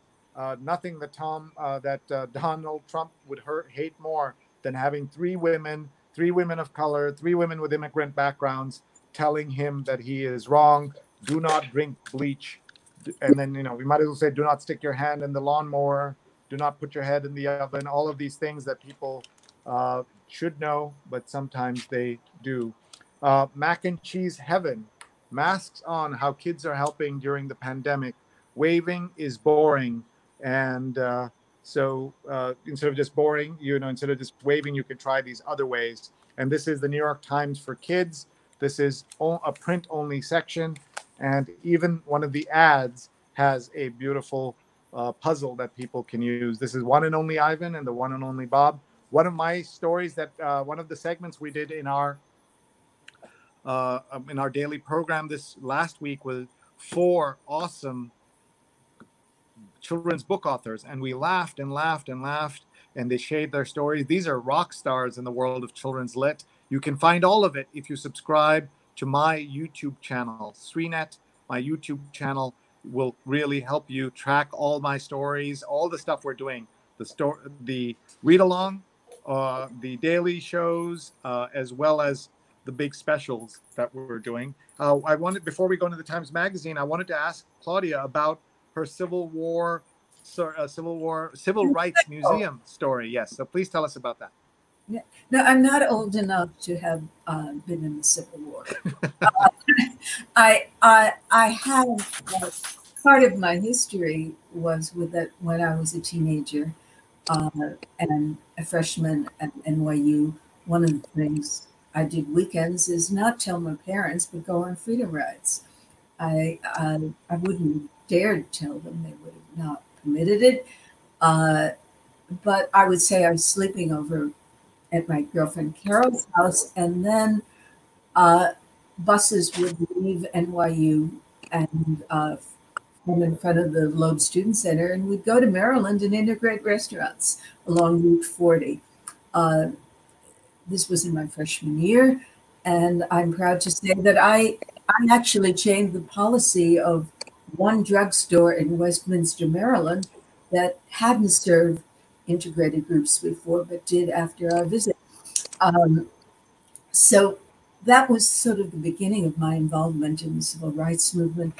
I, I am the child of refugees too, um, refugees from Nazi Germany, and I, I grew up in a world that was half European and half American, not really certain of my identity in that way. And it was through the civil rights movement that I really confirmed my sense of being an American in, in this country and not in a world that didn't exist anymore, which was my parents and grandparents' world. Uh, and figuring that out because here was a movement where people were being braver than anything one could imagine. And for what? To make America be consistent with what it what its stated beliefs were. And it was the most wonderful way to invent my own adulthood, which I had to do. And uh, it never left me. It's the most formative experience of my life. If I get all my work done while in sequestered, I'm going to start a memoir that will begin with those freedom rides. Uh, and the people I met there uh, changed my life because they taught me that no matter what your your situation is, you could make your life your own, and and uh, and make your society your own. Uh, recently, I, I had the opportunity to possibly take German citizenship, and at the end, I, I couldn't do it because those moments of being an American, um, in the truest way, were were the deepest part of me, and I just could not uh, accept that other that background part. But it's as my aunt used to say, it's always good to have a lot of passports. But she wasn't certain I should have that one. Thank anyway, you. Thank you. I'm being Thank a little grim. I joking. Thank you for sharing that story. And I just want to show you the connection to this Madeleine Albright interview in the Times Magazine I'm the testimony to I'm testimony to the fact that it makes a difference where the United States is, and it's being a leader in the world matters. And we saw what happens when the government ignored the pleas of uh, Ger- uh, of German Jewish folks about what was happening uh, mm-hmm. the early days of World War II, and uh, they ignored that, and so many people perished. They, of course, the Americans did get into the war and did help liberate those concentration camps, but it was not taken seriously. Isolationism is not what we should be looking at, and that's unfortunately uh, where we are. Uh, let's read the Pope. That, that it's a very good interview. That the guy they have now at at the Sunday Magazine really does his homework, and that's key to doing a good interview. That you you really have to prepare much more strongly than you would if you're just observing something. You have to prepare almost like a a lawyer doing a cross examination. Um, uh, I to- I totally agree, and that's that's really important. Uh, here's a poem in the New York Times Magazine for those of you watching. We do this every week. We read this cold with no prep on purpose, and so we'll get everything from the pronunciation of the uh, of the poet to the rhyme and the meter all wrong. So this is not the way Claudia would do prepare for something. This is the way we do this. The Morning News by Alberto Rios. Seasons will not be still, filled with the migrations of birds. making their black script on the open sky those hasty notes of centuries old goodbye. The clouds in the heavens make a memo book, a diary of it all, if only for a day. The birds write much, but then rewrite all the time. News continuous, these small pencil tips in flight. They are not alone in the day's story. Jets, too, make their writing on the blue paper. Jets and at night satellites and space stations, like it or not, we're all subscribers to the world's newspaper. Written big in the frame of the window in front of us, today we wave to neighborhood riders on horses. We hear the woodpecker at work on the chimney. There is news everywhere. All the small courage so that we might turn the page. Wow. Wow. Wow. Beautiful. Beautiful. May I, may I also point you to you to something that I found absolutely brilliant in the paper in the metro section. Uh, there is essentially what is an interview with a, um, a triage nurse. Uh, and it's the whole page in her own voice of what a day is like. Um, they don't run it as an interview with a Q&A back and forth. When you read it, you can see that it's a series of interviews and it has, aside from being fantastically moving and insightful, it has all these elements that a good interview would have which is that there's a progression, there's a story, her voice tells the story. Uh, I'm going to actually put it on my required reading list for my students. I, am teaching a summer course this summer, and I want them to see that as an example of great interviewing. I mean, I, I learned a lot about what her life and what her day was like in her own voice. Whoever did that did it very, very well. It's Alexis. It's a, a, Alex Strauss who did this, and David Marchese, or uh, who does who does I don't know the pronunciation, who does the uh, Sunday New York Times Magazine uh, interviews now. Uh, how do I deal with a friend who thinks COVID nineteen is a hoax? This is one of the ethicist questions that you all can take a look at uh, online. Studies show what does it mean for science and, the pu- and public health that scientific journals are now publishing coronavirus research at warp speed? What a great question. And there's a New York Times wine club now, right? The Times is diversifying so many interesting ways. Common birds. Uh, bird watching is not always exhilarating. In fact, it can be largely mundane. How to talk to yourself. That's interesting. Patricia asks Do you write both objectively and subjectively, or only like to stick with the facts? Well, it, it depends. I think one does different things in different places if you're doing a news story, you write objectively, and if you're doing a personal essay, you write subjectively. The the piece you were showing about civil rights museums in the South that I did uh, in uh, the special museum section of the New York Times a few weeks ago. Um, that is a combination, actually, because the intro includes my subjective experience in uh, the civil rights movement. But the piece is about this uh, collection of very interesting magazine, I'm sorry, very interesting museums throughout the South.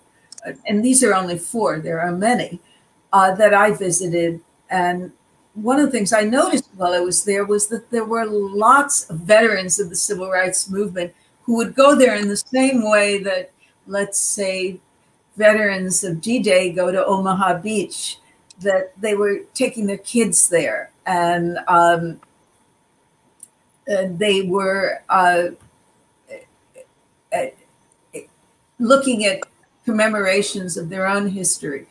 Um, and I found that very moving. So it was a mixture. It was that stuff, but it was also objectively telling you what is there and what is interesting. But it's also my own perceptions that were were, were covered by um, in the story. And sometimes you can do a blend. But when I'm doing a news story, I want to sound authoritative. I don't want to sound like I'm laying my own trip on the readers because the readers have a right not to trust that if you do. And I often don't find uh, a lot of personal reporting.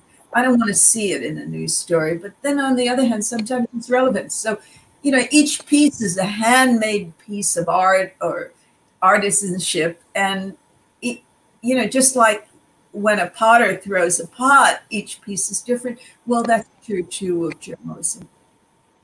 Yeah, I, I hear you. And by the way, when you mentioned the nurse And that story, we have uh, a wonderful registered nurse and an expert on various aspects of life care, aging life especially, and and uh, is going to be with us in a few minutes. She's already backstage and listening intently. I also want to tell you that uh, Peter Greenberg is watching, and Peter says, uh, enjoying my conversation with Claudia Dreifus. I heard her mention a wonderful editor, Barry Golson, and I couldn't agree more. He was my editor as well when I did a number of Playboy interviews. If she happens to know where Barry might be now, I'd love to reach out and reconnect after all these years. He had much influence in my career, as I suppose he had with her, with hers. And and Peter Greenberg is a great uh, uh, user, a great writer and journalist, uh, the CBS travel editor, wonderful man, and uh, lives in LA and watching. So it's very early for you, Peter, but thank you. Claudia, do you uh, Barry Golson? He recently sent me an article he wrote from a place in Florida. Uh, and so if Peter uh, PMs me on Facebook, I'll, I'll, send him what I know. I haven't been in touch with him in many years, but uh, I, am getting hungry looking at this. When you desperately need a break from beans, car- crab on toast is the answer. And now a look at Afghanistan's next war. And Neil will tell us if we have time to look at the video on this or just a glimpse of the behind the cover feature. And maybe we'll show that if we have time. Otherwise, we'll just, people can find that. We can put the link to it. It's one of the wonderful things that the Times does. It tells you how they make these covers in the magazine. They do a really good job. Uh, folks, I hope you'll tag your friends. We have a few minutes left here with Claudia Dreifus of the New York Times. Uh, uh, she's been a writer for many, many years there. And uh, we're our guests going to the behind the cover uh, story. And so we're going to not play the whole thing, but uh, maybe we'll pick it up uh, in the middle because we don't want to give the full two minutes. So uh, Neil's going to have the volume turned down and pick it up uh, sort of part way, and then we'll turn the volume up. Okay, here we go. The first was an image of a young woman in a hospital who'd been diagnosed with COVID 19. While that image was emotional and very moving, it spoke to one person's experience. But this story about the outbreak in Afghanistan really revolves around the border crossing. On the day that this image was shot, over 10,000 people streamed across the border from Iran to Afghanistan. It's really jarring at this moment in time to see a crowd of people, many of whom are not wearing masks. I feel like it speaks to the danger that exists there. Part of the mood that Mujib's story captures is this sense of uncertainty and fear as people try to figure out what is happening. Yeah. Last month, the U.S. State Department announced that it would cut $1 billion in aid because of political infighting within the government. I think it's important that we, as an American magazine, try to bring our readers' attention to the current vulnerabilities in Afghanistan, which are largely a product of the American invasion and the decades of war that followed. The challenges that everybody in Afghanistan faces right now, there's just so many. And then to on top of that add the destructive power of a pandemic, it's just kind of unimaginable. Well, and there you go. You see that there? and here that's the cover and i love how they tell that story and uh, what they do. The kitchen is closed. Forced to shutter my 20 year old restaurant. I've been revisiting my original dreams for what it could be and wondering if there will still be a place in it in the city that's her home. Just so sad. Uh, work shoes that employees wore during their shifts left behind at prune's abrupt closure. The restaurant was called prune. I've not had a chance to read this yet. And then look at this design Flip How to Stop the Next Pandemic by Jennifer Kahn. Uh, just great to see inventive design, all kinds of things on here. Just really beautifully, beautifully done. Peggy says, Claudia, I'm from Montgomery and attended the opening of the National Memorial for Peace and Justice. So interesting and vital, your early involvement in the civil rights movement. Thank you, Claudia, and thank you for sharing your uh, thoughts. Do you think you'll be able to teach in a classroom in the fall? asks Anne. Anne, Anne used to be uh, an, an, administrator in one of the departments I teach in, in at Columbia School of International and Public Affairs. She's a poet now. Um, in any case, I, I, don't know. I I um, I am teaching in the summer via Zoom, and that's exciting. I, I'm so surprised. I mean, the School of uh, Professional Studies, where I also teach, uh, was really geared up and ready for this crisis and had people there. And we moved very quickly, and it was just amazing. Um, and I at first was resistant, but I took all the courses, and I'm my students are pleased with what happened. I was felt very committed. They should not feel cheated, and I worked very hard uh, to to give them the rest of the semester. But they did have a half a semester of bonding and learning about each other, and that's really important. So in the fall, I don't know what's going to happen. I'll tell you one thing. I'm very worried about the summer. I'm worried about going outdoors. I think it's all real premature. Everything I've read about the Spanish flu was that it came back the next year even stronger than it did in the first year. Uh, it did subside for a while and then it came back in a much stronger form.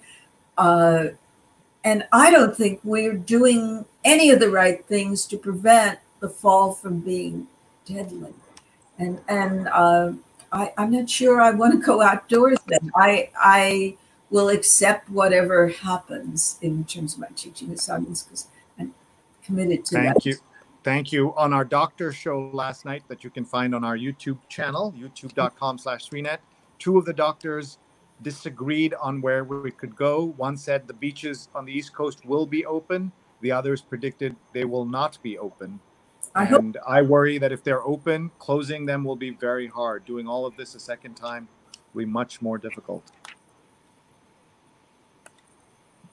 This is about this is a story about the first fatal coronavirus outbreak in a federal prison and what happened with the folks uh, there. So you can see that. Are you a puzzle person, by the way? No, but my husband is, and he's he's a demon. He can even do the Friday and Saturday ones. Sometimes in record time. I mean, I I hear it's he's like a serious champion. And look, I, I don't know what this is, but we've got these the turns like this. I've never seen that before, but maybe it's a common feature. Uh, I know so little about crosswords because I'm typically not good at them.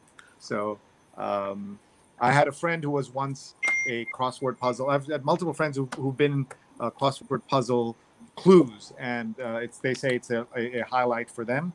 Uh, how about this? The Sunday Review is going with this as the lead story. This isn't uh, the nude selfie is now high art.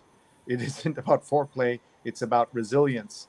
I had guests on Friday's show talking about uh, love and relationships and dating during COVID nineteen, and two uh, the two guests were the relationships columnist of the New York Times, my former student Elizabeth Bernstein, and Justin Garcia, the executive director of the Kinsey Institute. Yes, the Kinsey Institute. So again, you can find that very easily in my YouTube channel, Sreenet, and just see the entire archives. And a very important story here: who has corona, who has enough cash to get through the coronavirus crisis?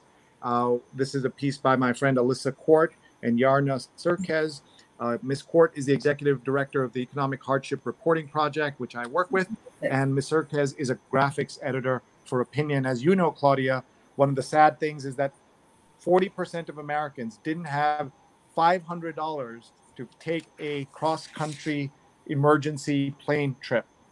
That was before the crisis, before 20 million unemployed, before 20% unemployment.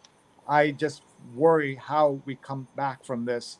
And yes, we shouldn't have a the economy needs to be back, it needs to succeed, but where do we go from here? It is so scary to think about. Yes, indeed. I, I, you know, one of the things the crisis is showing us, sadly, is the weaknesses in our society and how we have been getting by sort of on hope and a prayer and on credit. Um, and now it's in this enormous crisis, maybe the biggest in our lifetimes, certainly the biggest in mine. Um, it's all kind of coming home to roost, and it's very sad for the people who are this vulnerable.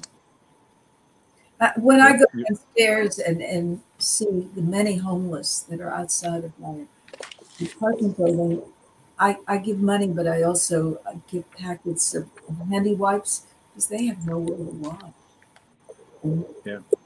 Uh, we're seeing more homeless on our block when we go out, for Yeah. sure. Uh, look, the Nobel laureate um, Orhan Pamuk's piece here, Diane Spelker's piece, um, uh, Gene Sperling, former National Economic Advisor to Presidents Bill Clinton and Barack Obama, is uh, writing. High Rise Anxiety by Chris Ware. I love his graphic uh, work in the Times. And then Coronavirus and the Price of Trump's Delusions. The cult of personality is no match for a pandemic. And Nick Kristof, who's been doing such great work, you Yeah. can change lives in a pandemic. And he's talking about how you can reach people, who you can give money to. Every charity needs your dollars, folks. Please reach out and check out uh, his initiative, Kristof C19impactinitiative.org. Kristof C19impactinitiative.org. And how to save summer 2020, an editorial in the New York Times. So as we get ready to say goodbye to Claudia here, we could go on with her for another couple of hours. I wanted her to just uh, give us some closing thoughts uh, about the news, about what she's thinking about, and uh, what gives her any positivity or optimism about what lies ahead for us. Okay, on optimism, I think what the times are showing us is the best and the worst of our society and of our people. Uh, at seven o'clock every evening, when when I go downstairs, I started walking my dog. Then, um, you see the whole city come together and applaud the people who are saving our lives, basically, and but they're also saying, "I exist. I'm a member of a community. I connect to each other." Uh, and that I, I go down and I start weeping because it's so moving. Um, we're seeing that we're seeing people being really good to each other, but I also see at the same time. I went downstairs yesterday, Saturday, and it was like a carnival, and nobody was wearing a mask, or at least by my count, half the people were not. Never mind talking about refugees in Afghanistan; these were very affluent New Yorkers walking around with baby carriages and or jogging or biking, and they were not wearing masks. Um, and when you said something to them, they acted like you were the mad woman of Chaillot. So that you know, there's there's there are those two things going on at the same time, and I think we're going to see that at the polls too. The the kind of polarization between people who say yes, we're a community, yes, we need to share, and yes, we need to take care of each other, and the people who say, I'm an individual, I'm John Wayne. Um, uh, and let's send John Wayne back to um, back to the White House. Would that we even had John Wayne? That would be helpful comparison, comparison. But um, in any case, um, I wish everyone out there safety. Take care of yourself. Do what you can. Try to find a way to help somebody this every day in some small way and and it, it'll all be better and remember that being locked down in this situation is not so bad it's staying alive Yeah, I, I, I totally agree. Thank you, Claudia Dreifus. What a wonderful morning we've had with you. You can find her on Facebook. She also has claudiadreifus.com and she's on Twitter, Claudia Dreifus. Please connect with her. Please check out her work, read her archives, go in there. Uh, she and Andrew Hacker did a fantastic job. Three weeks, uh, we had uh, both of them come in in two separate shows. And I can tell you that we needed an epic guest in between to match the two of them. And we had Judge Rosemary Aquilina, the judge who put away Larry Nassar in the USA Gymnastics sex abuse scandal.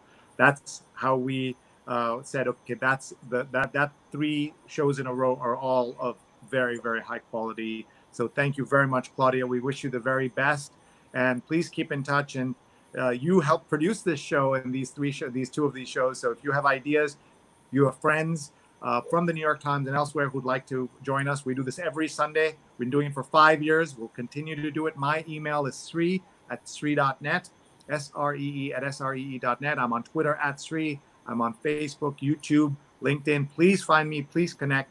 Uh, and we are now going to move on to our medical uh, segment of the show. But thank you very much, Claudia. good night good morning What kind of- It is good night for many of our viewers. it's you lose your sense of time this way i mean it's sunday yes Uh, I just want you to hear this that Nicole wrote to me watching from Trinidad. The New York Times read along is my new happy place. So look what you did for somebody elsewhere in the world. And Laura says, wonderful. Can't wait to check out her book, Interview.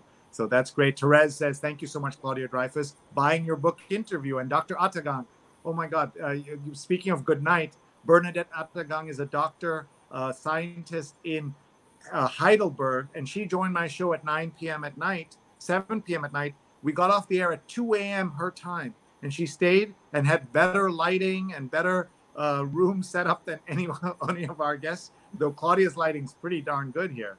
And Stefan says, Claudia, wonderful hour. Thank you for sharing so many great stories. He was at the New York Times when you were there. Mark says, looking forward to reading the book. Mark's a great podcaster. Rose says, trying to find a way to help somebody, try to find a way to help somebody in some small way every day. That's a beautiful line, Claudia. I know you did it off the cuff, and look, people are already writing about it, reporting on it. And Rose is one of our producers of our daily program. So thank you so much, Claudia. Goodbye. Bye bye. Bye bye, everyone. All right, folks, uh, thank you so much for being here. We're about to bring on our medical segment. We added this, we should normally go till 10 a.m. Eastern, but we are going longer by about half an hour with our next great guest who's going to be here. Uh, and before we do that, we're going to have Neil tell us once again, reset the show and also tell us about our sponsors. And one of them has a great uh, uh, mug that I have, Muck Rack. I work with them. Uh, he's going to tell us about Muck Rack in a minute. And uh, so I need all my sponsors to send me swag so that I can hold that up during the show. But thank you so much, Neil. What a great uh, guest. And one of the things that she taught us the importance of prepping with the guests and having all that great material in advance. Neil, you've dedicated and donate your time to do that. And it makes the so show so much richer and better because you do that. You write a briefing document. It's amazing. My show that I do solo is exactly the opposite of all of those things. Well, thank you, Sree. I appreciate it. There are two uh, quick housekeeping items we should take care of before we bring in our our next guest, uh, Anne, uh, who is a nurse, registered nurse, to uh, uh, talk to us about COVID nineteen. so the first thing that I'd like to do is again thank our sponsors. Um, we really appreciate all the support that we've gotten from Strategy Focus Group, um, Muck Rack, and Tweepsmap. Uh, and I'm going to share the links for them uh, as well at the bottom of the screen. Please visit uh, their pages and um, please uh, check out the great work they're doing. Um, for Strategy Focused Group um, uh, is a, a, global team of human capital strategists committed to helping organizations solve people issues within your organization. They do that by working alongside you to solve your toughest problems and helping you capture your greatest opportunities. Muck Rack helps you discover news as it breaks, easily generate reports, and explore the work of journalists, podcasters, bloggers, and more. Muck Rack software helps PR teams build stronger relationships with the media. And if you're a journalist, you might also be eligible for their free tools to identify trends and showcase your work. Tweepsmap helps you build personalized relationships with your audience with focused, straightforward, actionable analytics and an all in one intelligent publishing platform. Thank you again to Ron Thomas of Strategy Focused Group, Greg Gallant, and Mike Schneider from Muck Rack, and Samir El Batran from Tweepsmap for your support of the New York Times read along. And their links again are on the bottom of the screen. We certainly encourage you to uh, uh, visit their, their pages and learn more about the work that they do. What I'd also like to do is to take a moment and uh, talk about next week's guest because again one great guest after another uh, and uh, really want to thank uh, carla baranakis a great friend of the show for introducing us to uh, micheline maynard um, micheline is a uh, experienced journalist author broadcaster and educator she's a regular contributor to forbes runs a crowd-funded journalism project called curbing cars and was the award winning Detroit bureau chief and senior business correspondent for the New York Times. Uh, please follow her on Twitter at Mickey Maynard. Uh, and if you get a chance, tell her uh, uh tell her hello from uh, the New York Times read along and thank her for joining our show next week. We're looking forward to, to the conversation with her again, 8:30 a.m. to 10:30 a.m. Eastern Time. Uh, and with that, Sree, I think that we can introduce our next guest, the next segment of our program, Anne uh, Sansevero. Um, Sansevero, uh, a registered nurse, is going to join us to talk about uh, COVID nineteen and answer questions. Um, I believe you you had her on a show uh, earlier, Sree.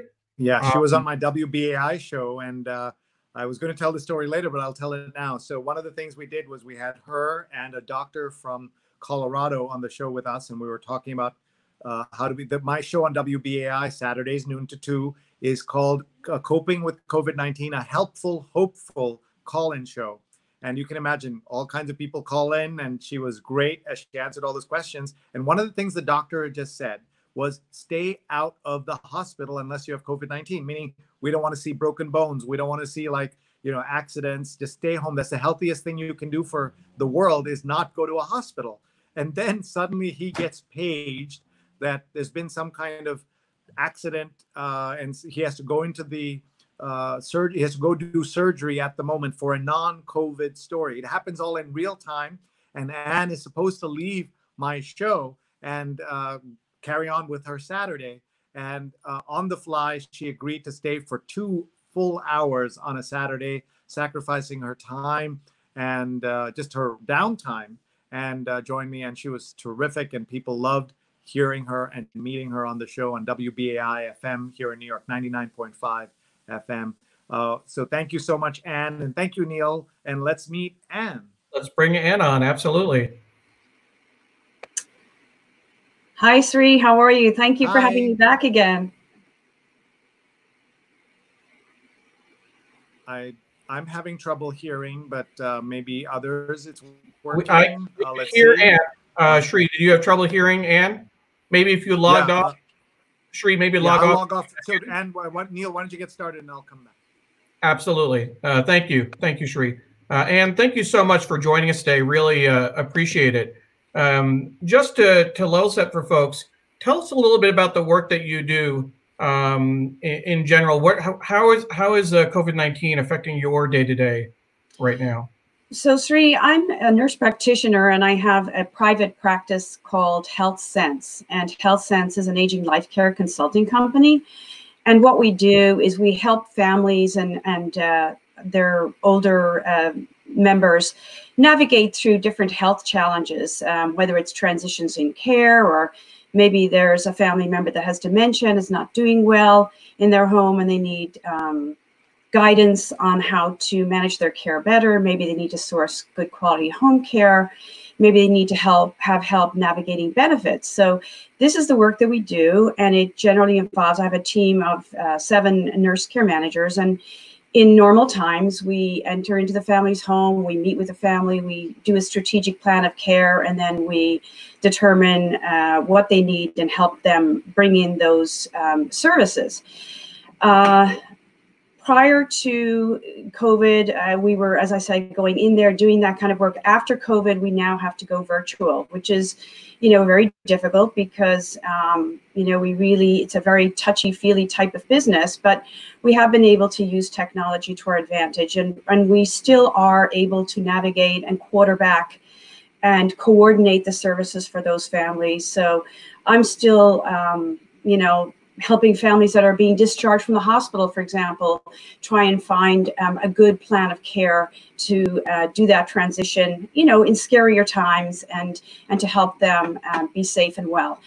And um, I'm also, you know, monitoring my ongoing clients and you know helping them navigate symptoms that they may have at home to try and avoid hospitalizations. Uh, again, trying to keep them safe at home. So it's the work is still being done, but in a different way. I appreciate that. Uh, we did have a question earlier, and um, I'm scrolling up to find it.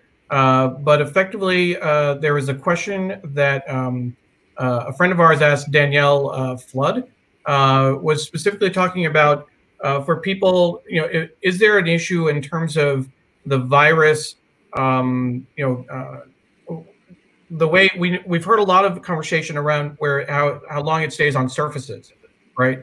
But what about uh, how high it reaches in the atmosphere for people who are in apartment buildings? Do they have to, do they have to worry about it rising up um, in terms of if they're on the higher floors of a building?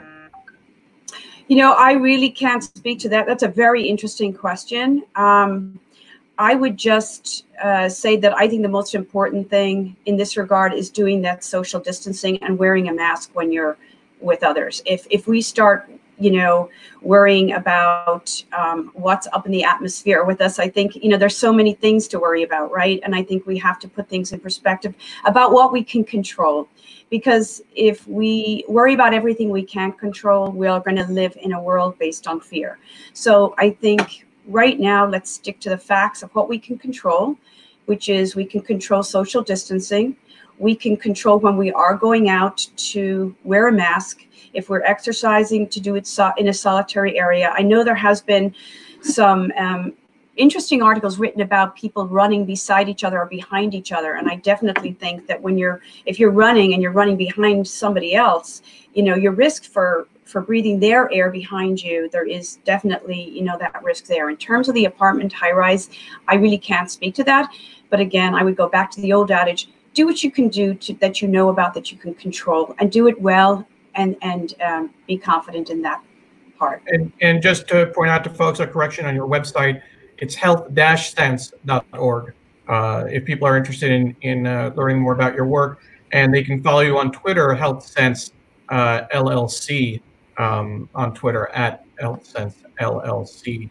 Um, what what is your take? Um, um, what is your take on, in terms of uh, uh, reopening, and we talked looked at some of the articles earlier. Uh, some states, some businesses, they're starting to figure out how can they get back to business. Georgia has a partial reopening that they're trying to do. Um, is it is it too early? Is it going to be different in different states? Um, what's your sense of that?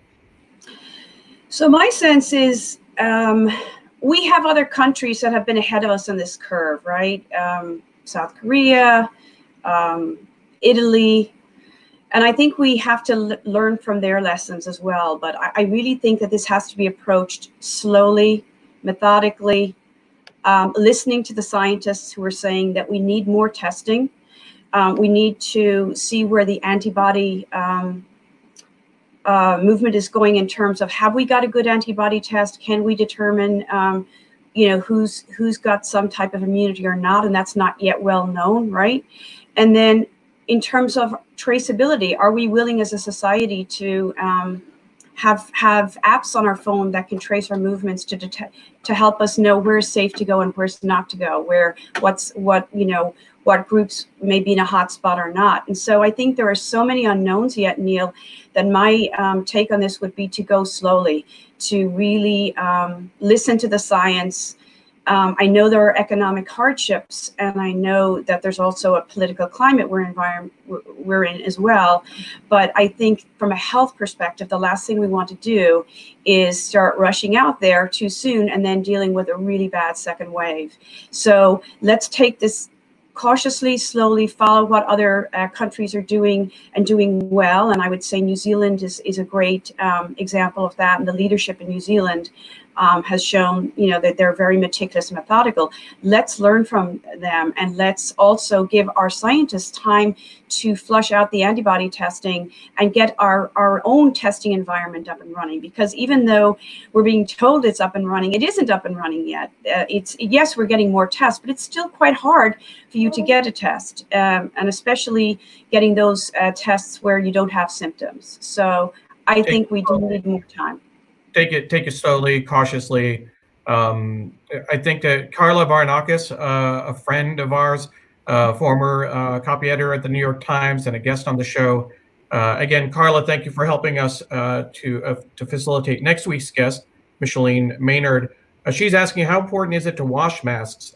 she has the impression that many people wear them day after day without washing. certainly, for people, you know, there, there, there are two groups of people now. I think in in society um, I'll put myself in one group as a layperson. You know, we went out for the first time, or uh, rather, my wife has been going out grocery shopping. I went out for the first time. We picked up pizza from our favorite pizza place.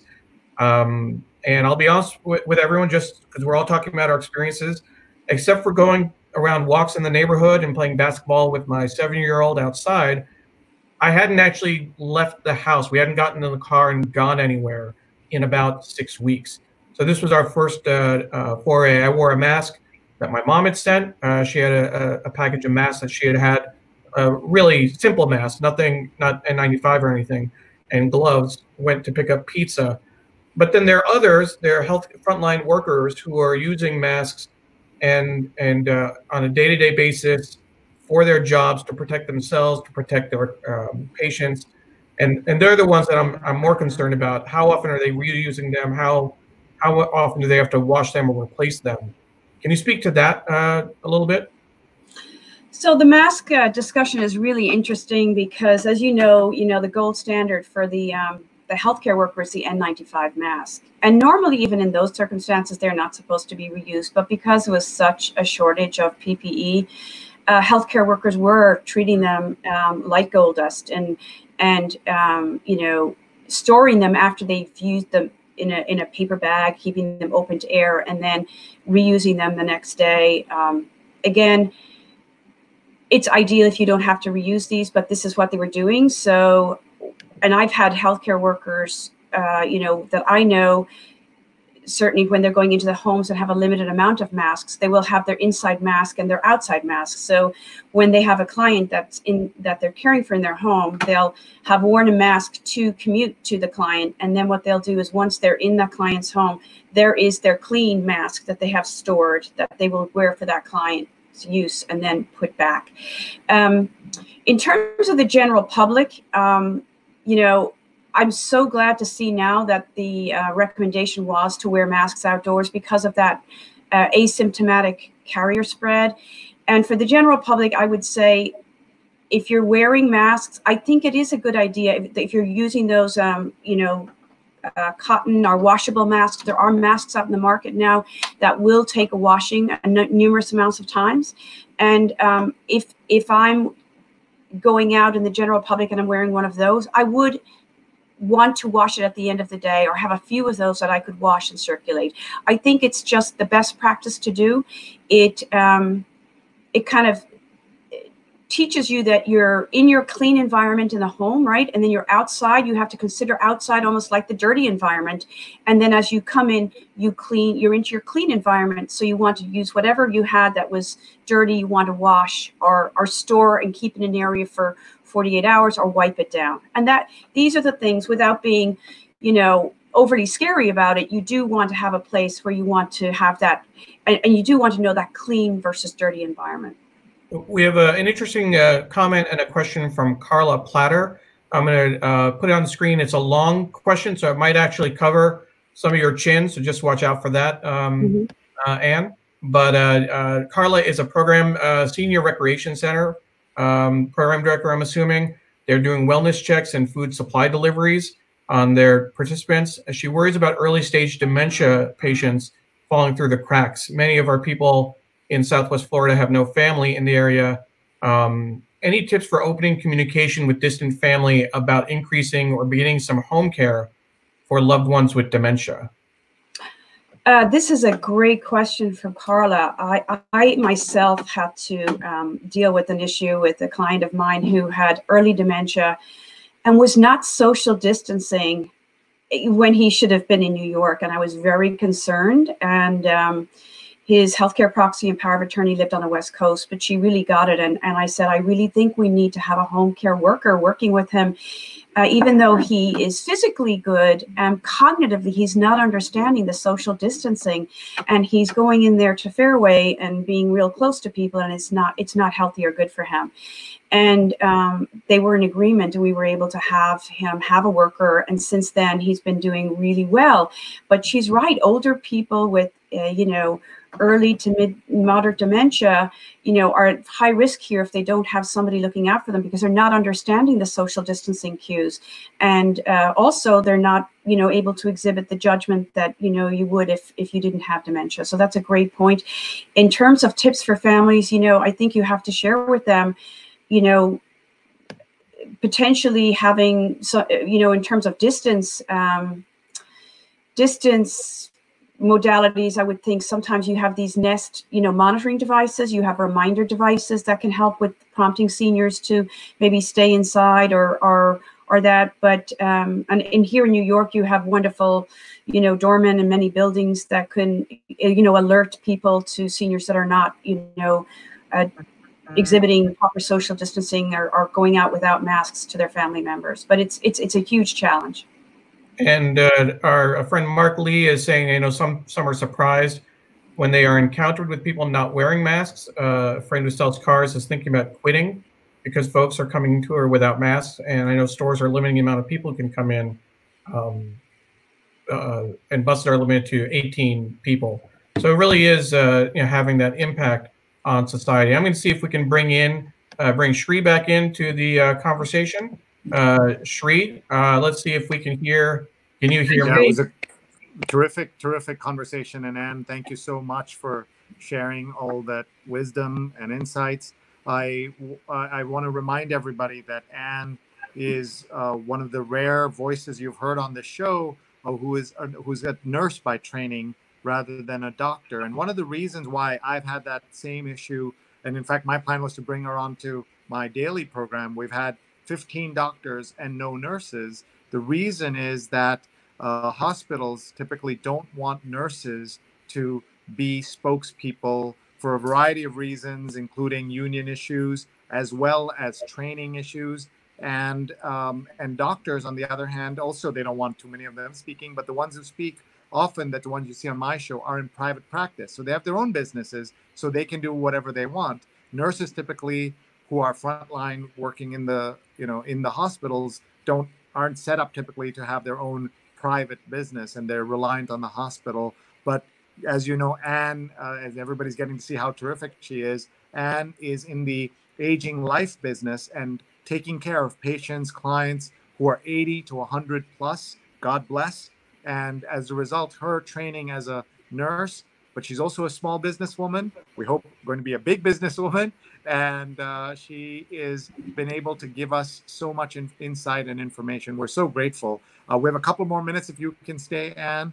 Uh, so let's take some more questions that are coming in, some comments, and uh, uh, uh, just tell us about the Aging Life Care Association and what exactly it does and why it's important. After meeting you, I was telling my wife that we need to sign up for some kind of, you know, how the way people can buy burial plots long in advance. Um, as Hindus, we will not be looking for a burial plot, but maybe we need to contract with Anne in advance uh, because we're not going to rely on these 17 year olds now, and of course they'll be older then, to take care of us when when when we need Anne's help. So, Sree, you mentioned the Aging Life Care Association. So, that's a nonprofit organization.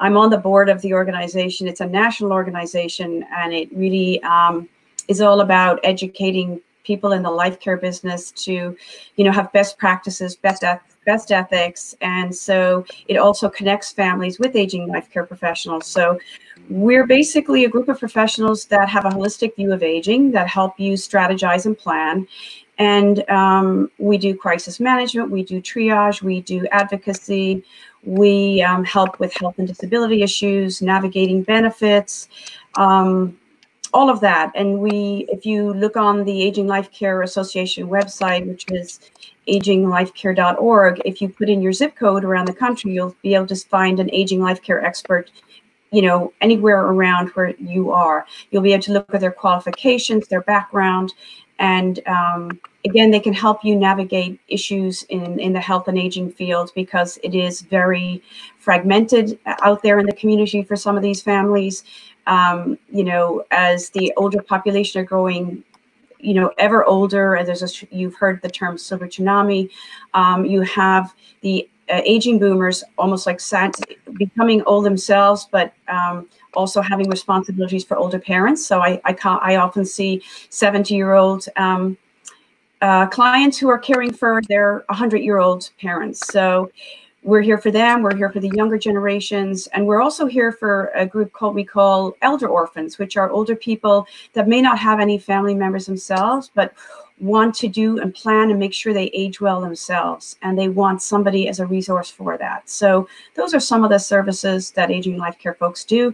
They generally have a nursing or social work background or gerontology background a professional background and uh, they also have great resource networks locally.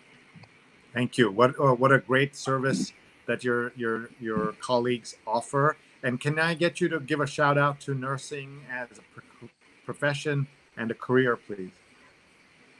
So nursing has been a wonderful career for me, Sree. I came over here as an immigrant myself. I'm an Irish immigrant, Italian name, but my maiden name is O'Toole.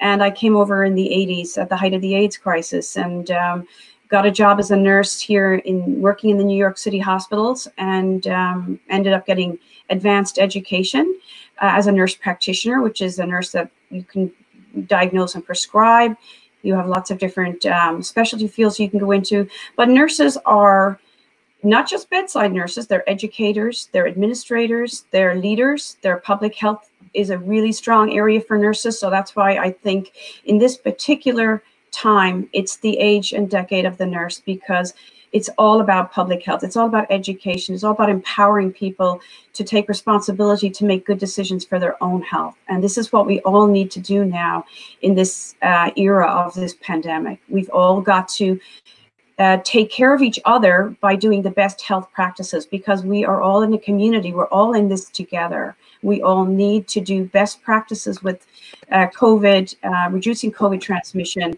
by educating each other and by mentoring each other through this. And thank, thank you, you thank you very much. Sherry, I want to get uh, back to one question that I tried raising earlier. Um, we had someone who had asked uh, about uh, virus and whether there was a concern in terms of being at a in a high rise, whether the virus uh, uh, rises up in the attic and the, in the uh, altitude on higher floors. So Ellen is just asking for confirmation. Uh, is living on a low floor more dangerous than a high floor? You did address this earlier, Anne, but if you could repeat your your answer, I thought that it's uh, it was worth it. So uh, my uh, answer to that, Ellen, is I really honestly don't know the answer to that question. I do know the um, I do know that when you are running behind somebody who might cough, you know, or or breathe, uh, and you're not running at a safe safe distance from that person, the organism can the virus can spread back and i think that's really important the social distancing. In terms of the height of the apartment i really can't answer that but i will say that um, that my answer to that before was control the things that you can control and try not to be too fearful about the things that you can't control. So, really, you know, just do your best practices with all the science that you know right now. And um, I think it's far more dangerous in my mind to be in large groups and not wearing masks for protection or not washing your hands are not social distancing. So I know that's not um, a satisfactory answer, and I hope that somebody else can weigh in and answer on that. But that's my answer, which is control things that you can control. Um, thank, thank you. you. Thank you, Anne. And a final I question. Say, I want to say to that that uh, Anne is giving you the right information that we don't know. So many things we don't know. How science works is something new happens, and then scientists do research over many months, many years.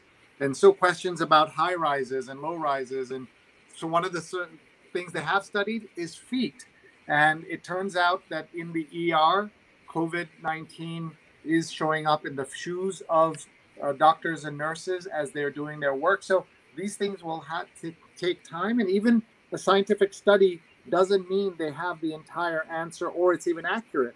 As we know, tragically for, uh, for America, in the 60s, Harvard Medical School was paid uh, to uh, show that the biggest problem in America is fats and not sugars.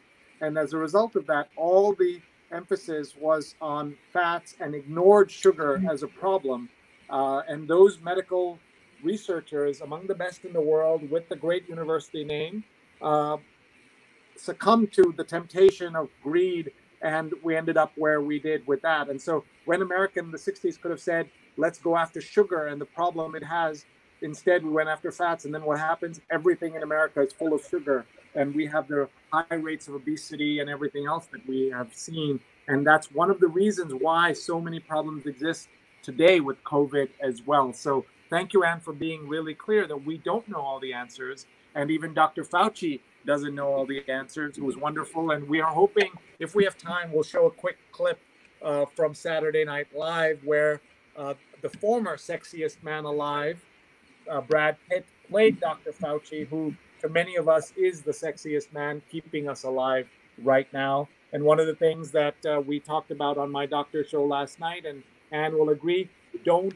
drink Lysol, don't drink disinfectants, things like that. We have some questions from my family right here. They, they're asking about Clorox wipes. We're using them so often. They're part of our daily life now. A, if we can't find them, what to do? And B, once we find them, is there any long term impact that you worry about, even if you don't know the research yet, about these wipes on our skin and what they're doing to our hands and things like that? So, with Clorox wipes, um, I'm using them primarily to wipe down surfaces, knobs. You know, when I, if I'm going out, I'm wiping down the surfaces, or I have I'm having it wiping it with an elevator button. For my hands, I'm using sanitizer, and I'm using um, soap and water, antibacterial soap and water. So I'm primarily using the wipes on surfaces. And I think that if you use wipes on your actual own skin all the time, you're probably going to get some irritation there. In terms of um,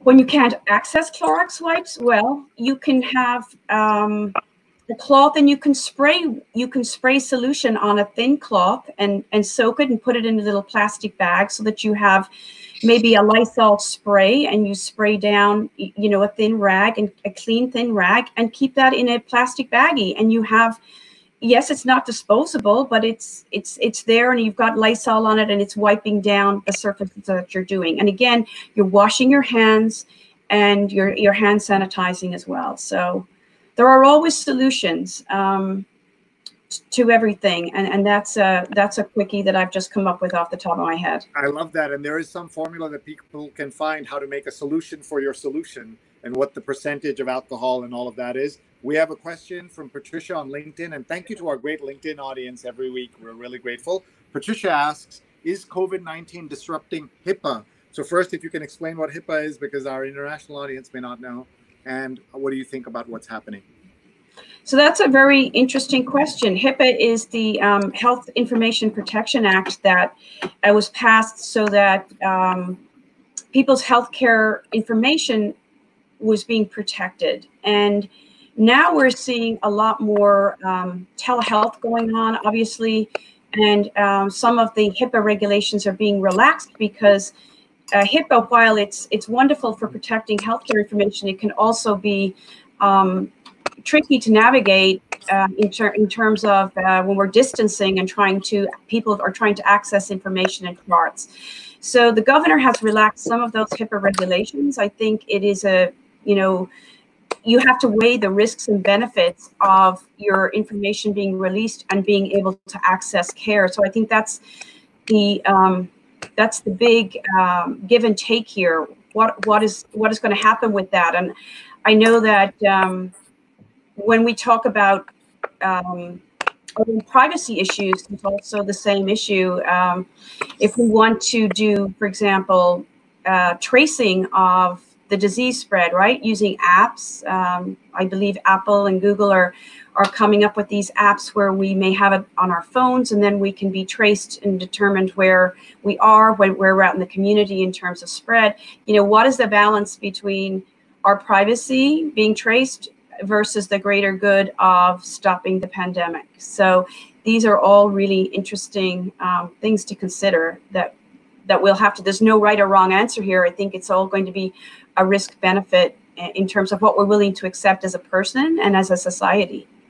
Thanks, thanks, Anne. And uh, we have one last question that uh, I'm going to pose uh, on behalf of my mom, uh, and I'll bring Sree back in as well.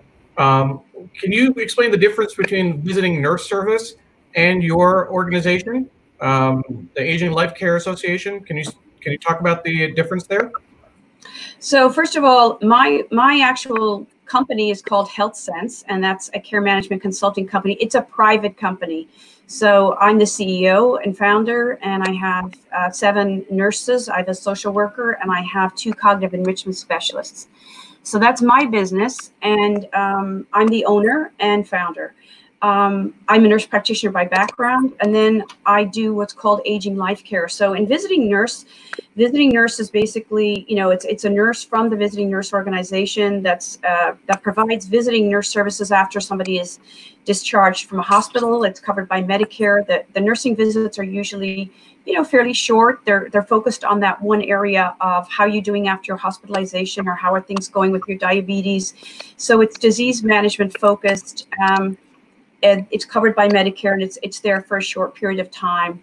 Um, in terms of my services, ours are much more holistic in the sense that we're going in and doing a lot of uh, broader uh, planning. We have um, expertise in housing, in you know benefit navigation, in advocacy. It's it's a kind of a broader, more holistic approach. It is private pay, so it is not covered by Medicare. There are some long-term insurance services that cover um, the services. Uh, and then just lastly, the Aging Life Care Association, which I'm on the board of, that's a nonprofit organization that that really is, a, is an association that does best practices or teaches best practices and mentors uh, aging life care professionals. And um, it's a it's a source where somebody can, um, you know, find a, a, a really well qualified aging life care professional. Um, so great question. Um, we do work many times with visiting nurse service. We work in conjunction sometimes, but we also work standalone. And uh, I'd like to uh, um, recognize Courtney Pulitzer, who was uh, able to join us uh, um, just toward the end there. She was thanking you for some of the great information and for promoting aging life care. Uh, Sree, I know that uh, Courtney is um, a, a friend of yours. Friend of a friend of 20 plus years, early tech pioneer. She was a guest on my Sunday night positivity show, which is at 9 p.m. Eastern. Tonight, we'll tell you about that in a second. But she was there a couple of weeks ago. Again, my archives of shows, we've done 45 shows. Today's the 45th straight day that we've done these shows. Please take a look, and you can see the greatest hits of the Sunday New York Times read along as well. They're on there. So please uh, take a look and uh, see this. These are now all on YouTube. Find my YouTube channel, YouTube slash Sreenet, where you can find that. So we're going to let Anne go. And thank you so much. You are a hero to us for everything you're doing and working with such a difficult uh, population to navigate as both, as you said, people older and younger are trying to figure out uh, what aging life care looks like. And we're so grateful to you uh, for being here. Please check her out on Twitter. She's Health Sense LLC, Health Sense LLC, and her uh, website is health-sense.org, health-sense.org, and we are very grateful to you and uh, coming on on short notice. And tell your friends we are looking for medical professionals to be with us every week, and as long as the crisis is on. And so uh, we'd love to have more folks join us. And I'm also looking for folks for my show as well. And thank you. Excellent. Thank you, Sree. Thank you for having me, Neil and Sree. Take care. Thank you, everybody. And that was Anne, who is just fantastic. Please do uh, check her stuff, uh, work out and also email us, Sree at sree.net. If you know a doctor, a physician, and hospital administrator who'd like to be on our show to talk about these issues, uh, we're doing this here at, uh, at the end of our read along every week and also on my daily programming. Let's give a couple of alerts before we say goodbye. Tonight, 9 p.m. Eastern, is my next show. Uh, please tune in. We have Sunday Night Positivity with Poorna Jagannathan. She's an actress you know from Big Little Lies, The Night of, Delhi Belly, Better Call Saul. And she has a big new show called Never Have I Ever. And it premieres on Monday on Netflix. But you can join her tonight at 9 p.m. Eastern as we talk about positive issues. Last week, we had Tal Ben Shahar, who uh, taught the two most popular classes in the history of Harvard University and he did a great job with us uh, to talk about positive psychology. And it was so much fun. I learned a lot. So please check out those archives. But these positivity stories are great. And Poorna is also hosting uh, at 1 p.m. Eastern a dance party, a Bollywood dance party with the great DJ Rekha at 1 p.m. Eastern on uh, Instagram. And you can find her on Instagram and you can see the links right there on the screen. So follow her today at one o'clock Eastern. Do some Bollywood dancing with your family and friends, and then join us at 9 p.m. Eastern. And we have a great guest next week on the Sunday New York Times read along, don't we, Neil? We do. Uh, Micheline Maynard, will be joining us May 3rd, next Sunday. Uh, she is an experienced uh, journalist, author, broadcaster, and educator, and was an award winning Detroit bureau chief for the New York Times. Again, thank you to Carla Baranauckas uh, for uh, introducing us uh, to her. We're very much looking forward to that, that conversation. Uh, please follow her on Twitter at Micki Maynard. her Twitter, that's her Twitter address, and you can let her know that uh, we said hi and that we're looking forward to her joining us on next week's uh, show. So that's that sounds awesome. I've known her for a long time from a distance and on Twitter and Facebook, but to see her on screen will be fantastic. 8:30 to 10 a.m. Eastern. We've been doing the show for five years. Neil and the production team have taken it to a whole new level, and we're so grateful. We've got lots of people who've promised to be guests in the weeks ahead, and we will uh, tell you more about them. Just subscribe to my YouTube account. It will help you keep track of all of this. And I just want to say we have an amazing lineup coming up this week on the daily program. We have poetry. It's National Poetry Month, and so there's going to be a, a, po- a great poet joining us on Monday night at seven. And then we have several other things coming up, including Thursday night. We're going to review how foreign affairs are being covered in the American press with the foreign editor the international editor of the PBS NewsHour. Morgan Till will be with us. Matthias will be with us, who is uh, runs Twiplomacy, which covers how foreign leaders are using Facebook and Twitter. Uh, and then on Friday, that's on by the Thursday night at 8 p.m.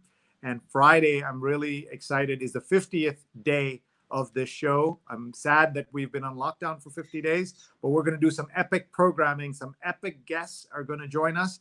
Uh, Neil, knowing how crazy I am, I might do one long show for a couple of hours, or we might do three shows one in the morning, one in the middle of the day, and one at night. You never know what insanity and what shenanigans happen when I'm let loose with uh, a show like that. But it's just our 50th day. Just remember, we have other plans on Friday as well, Sree, with uh, yes, I know, and, I know, I know. Uh, from really, Princeton University. Yeah, we're very excited about that as well. So we'll have to figure that all out, and that's we can do it of this. Yeah, we can. And a reminder to everyone watching if you have a book launch, you have a show that you, uh, a conference, a meeting, don't do just another boring Zoom meeting. Call us. We will help you. We did this virtual book launch for our friend Marco Greenberg with his great book, Primitive, uh, which is about uh, how the primal drive that powers the world's most successful people. So many other things that we're doing, working with universities, working with private clients we can help you make any event better, whether it's a event for 10 people or 10,000 or 100,000 or a million people. Contact us and we will help you. Letters to Sala, a wonderful show that Ann Kirschner put together with Jill Wexler and special guests. Almost 10 speakers. The National Archivist of the United States was on it. And here is the program we did from start to finish 70 hours. I do not recommend doing that. Neil had to wake up at 4:30 in the morning to go live at 6. But amazing to celebrate the 456, 456th birthday of William Shakespeare with the mayor of Stratford. We had the vicar of the church where Shakespeare is buried. We had the school, the headmaster of the school he went to. Uh, we had the mayor. We had the Royal Shakespeare Company. We had the Shakespeare Birthplace Trust. And you can go back and look at that on our programming. So please contact me. We have a wonderful brochure that we've made uh, so that we can help you think about these issues. If you can't afford us, that's okay. We'll tell you how you can do it on your own, but it's always better when you're paying folks to do uh, ex- excellent uh, work, which is what our team does. And Paula says Shakespeare was worth the early wake up, and she did that sitting in Florida in Tallahassee. So let's say goodbye. Let's thank everybody. Neil will tell us if we have any other uh, outstanding work. We want to thank our uh, our wonderful sponsors, and we want you to be a sponsor. And one thing that I was going to say for a post debrief meeting with Neil, but uh, why don't we say it now here? Mother's Day is coming up. It's Mother's Day Sunday. Uh, maybe you always wanted to sponsor, but you haven't thought of what you could do. Maybe you'd uh, we'd have a very inexpensive ad to do a greeting for mom, maybe a banner or something. We'll make it really inexpensive, and we'll gather greetings for moms around the world. Uh, Neil is wondering what the hell I'm talking about, but we'll make it happen. Neil was is going to book a wonderful guest for that show. But uh, on the money side here, we want as many opportunities to pay professionals to do this kind of work. Uh, so uh, stay tuned for that. But we want to thank, whoops, Muck Rack Strategy Focus Group, as well as Tweeps Map for all their wonderful work that they do to show us uh, uh, support for this. And Sree, before we leave, uh, uh, Upper West Side, uh, the home of Columbia University, um, and they're doing some great work. At, uh, we should say at um, oh the law school. I oh, want to tell you, yes, thank you for looking. Looking teacher- always a great producer. Columbia as well. yeah, Um, so I, I want to say that uh, thank you for reminding me.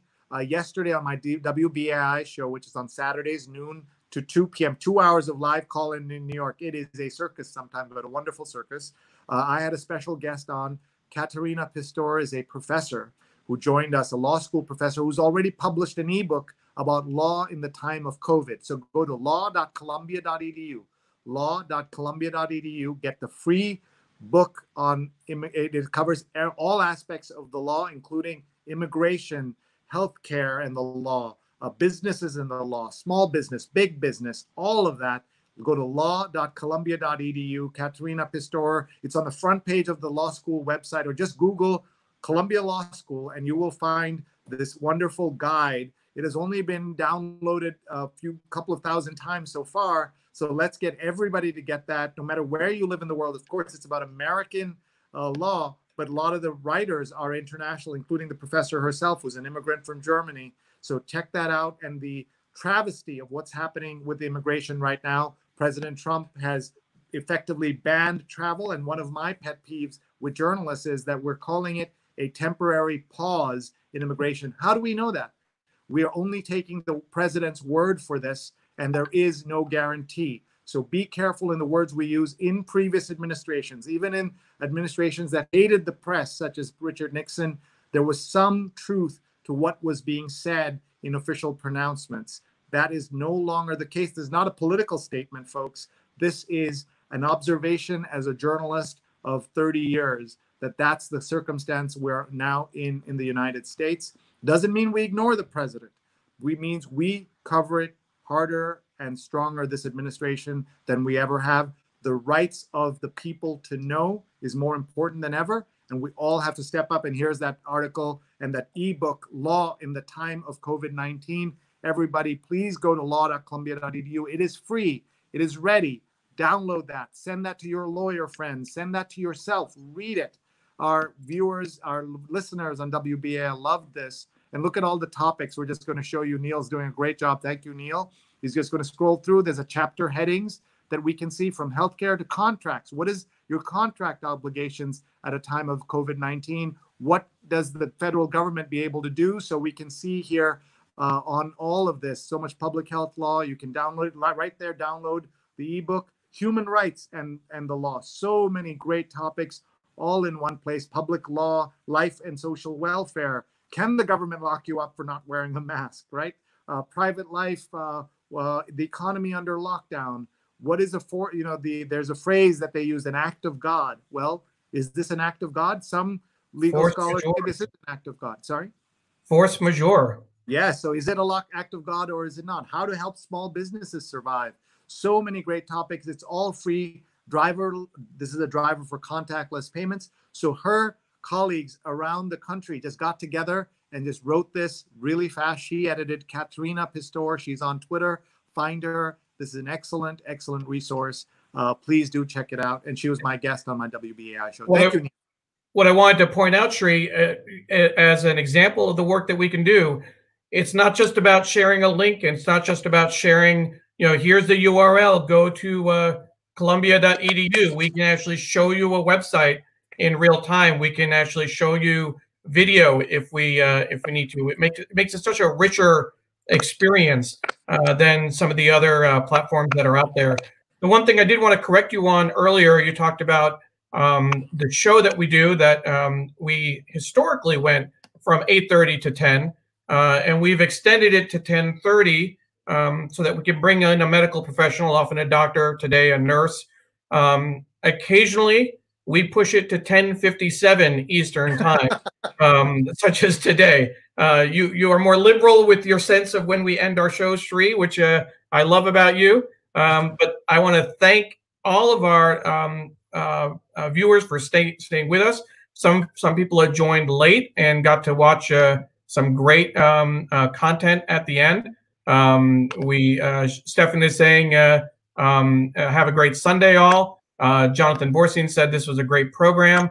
I do want to point out Courtney Pulitzer and Courtney. I will follow up with you. Mother's Mother's Day ads are a great idea. We will follow up with the rates, and uh, we will give you a chance to uh, say thank you to your uh, moms in your in your life.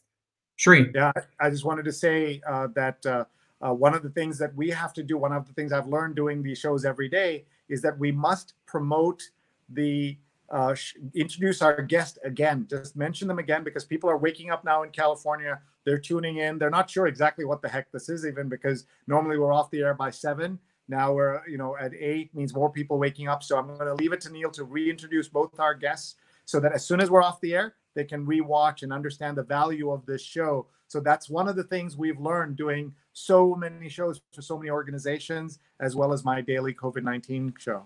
Absolutely. Thank you. And, and Renee is still here. Thank you, Renee Edelman, for all the great support you've given uh, the show. And our friend Chatachi is also uh, watching. It's quite worth it. Uh, so thank you for for doing this. Uh, so uh, I will uh, remind folks. so if you get a chance to come go back and watch the show, um, our guest today was Claudia Dreifus, incredible writer. Wrote the longtime New York Times writer, known for her interviews with scientists, policymakers, and international figures. She wrote the Conversations with column. Um, uh, she's, she's, written the Conversations with column for uh, 20 years uh, great uh, profiles in Playboy magazine and Ms. magazine. We actually didn't get a chance to, to cover this, but she wrote for Playboy and Ms. magazine at the same time, interviewing wow. Daniel. Ortega, Gabriel Garcia Marquez, um, Mel Brooks, uh, some of the stories. We didn't get a chance to talk about her work, uh, her uh, programs at the 92nd uh, Y, the science talks she does there. Paul Simon was a guest recently. Uh, she talked about interviewing the, the Dalai Lama and Aung San Suu Kyi. Incredible, incredible. And she's a teacher as well. She's teaching a class. She's brought in uh, the likes of Donald McNeil and Naomi Oreskes to, to speak to her, her students. She's teaching uh, journalism uh, to scientists so they can better convey their work. Um, I, I just have to thank uh, uh, Claudia, and if you'll allow me the privilege, um, yeah, one of the the things that I wanted to show that we didn't get to, Stephen Hawking. She did a phenomenal story uh, interview with Stephen Hawking. Uh, Stephen, uh, Steve Taylor, and, and Paula will be able to share links to that story, that interview. Uh, there's also an article about the interview in the Atlantic that that came up. So those are in the briefing document. Um, but uh, just incredible body of work she had. Uh, but my favorite, uh, this is actually from a uh, article that was written about her looking back. This is Claudia Dreifus uh, back in the 60s. Um, and I did share this with her when I talked to her um, with, with respect. Uh, this was an incredible picture, and uh, we loved having her on the show. Um, what an incredible career and an incredible woman. What a, a great in, a supporter, endorser of her husband's work uh, the book that he wrote, um, Downfall. Uh, she didn't miss an opportunity to plug her book, plug his book two weeks after uh, the show when we had him on the air. Uh, she's still uh, promoting his book. Um, so just incredible work. Next, uh, we also had um, a guest on the show. we had Anne uh, Sansevero, registered nurse, talking about COVID 19 and the work that she's doing uh, with the Aging Life Care Association and her own company, hence Health Sense. Um, so much great content, so much great work. Thank you to everyone who made this possible. Thank you to the sponsors. Thank you to our producers. Again, uh, Paula Kiger in Facebook, Steve Taylor in LinkedIn. We also had Julia Weeks uh, this week in Claudia Dreifus's Facebook page because Claudia let us stream directly to her page. That's something else that we can do for you if you have us produce a show. Uh, we can uh, stream it to any account uh, out there uh, to get more visibility, more reach for that work. Uh, so with that, I'm just going to take the thank you from Deborah um, Caden. I'm guessing Sree is saying hi. Um, and Courtney was saying that she woke up and jumped online as soon as she saw Anne on the show. Um, announcing the guest at the end is great. Uh, she'll definitely catch up on the beginning. So that was a good move. We'll add that to our list. Um, and uh, Deborah wanted the link to the uh, COVID 19 book again. Uh, so I will put that back on the screen. If you just go to uh, law.columbia.edu, you will find that uh, COVID 19 book. Uh, here is the ebook, Law in the Time of COVID 19. Um, so uh, uh, please do check that out. Some really great uh, content in there. Uh, and Emily is ending with a great show. Thanks. I think there's no better way to end the show than that. thank you, Sree. Thank you to all of our guests. We will see you next week, same time, same place. Bye bye.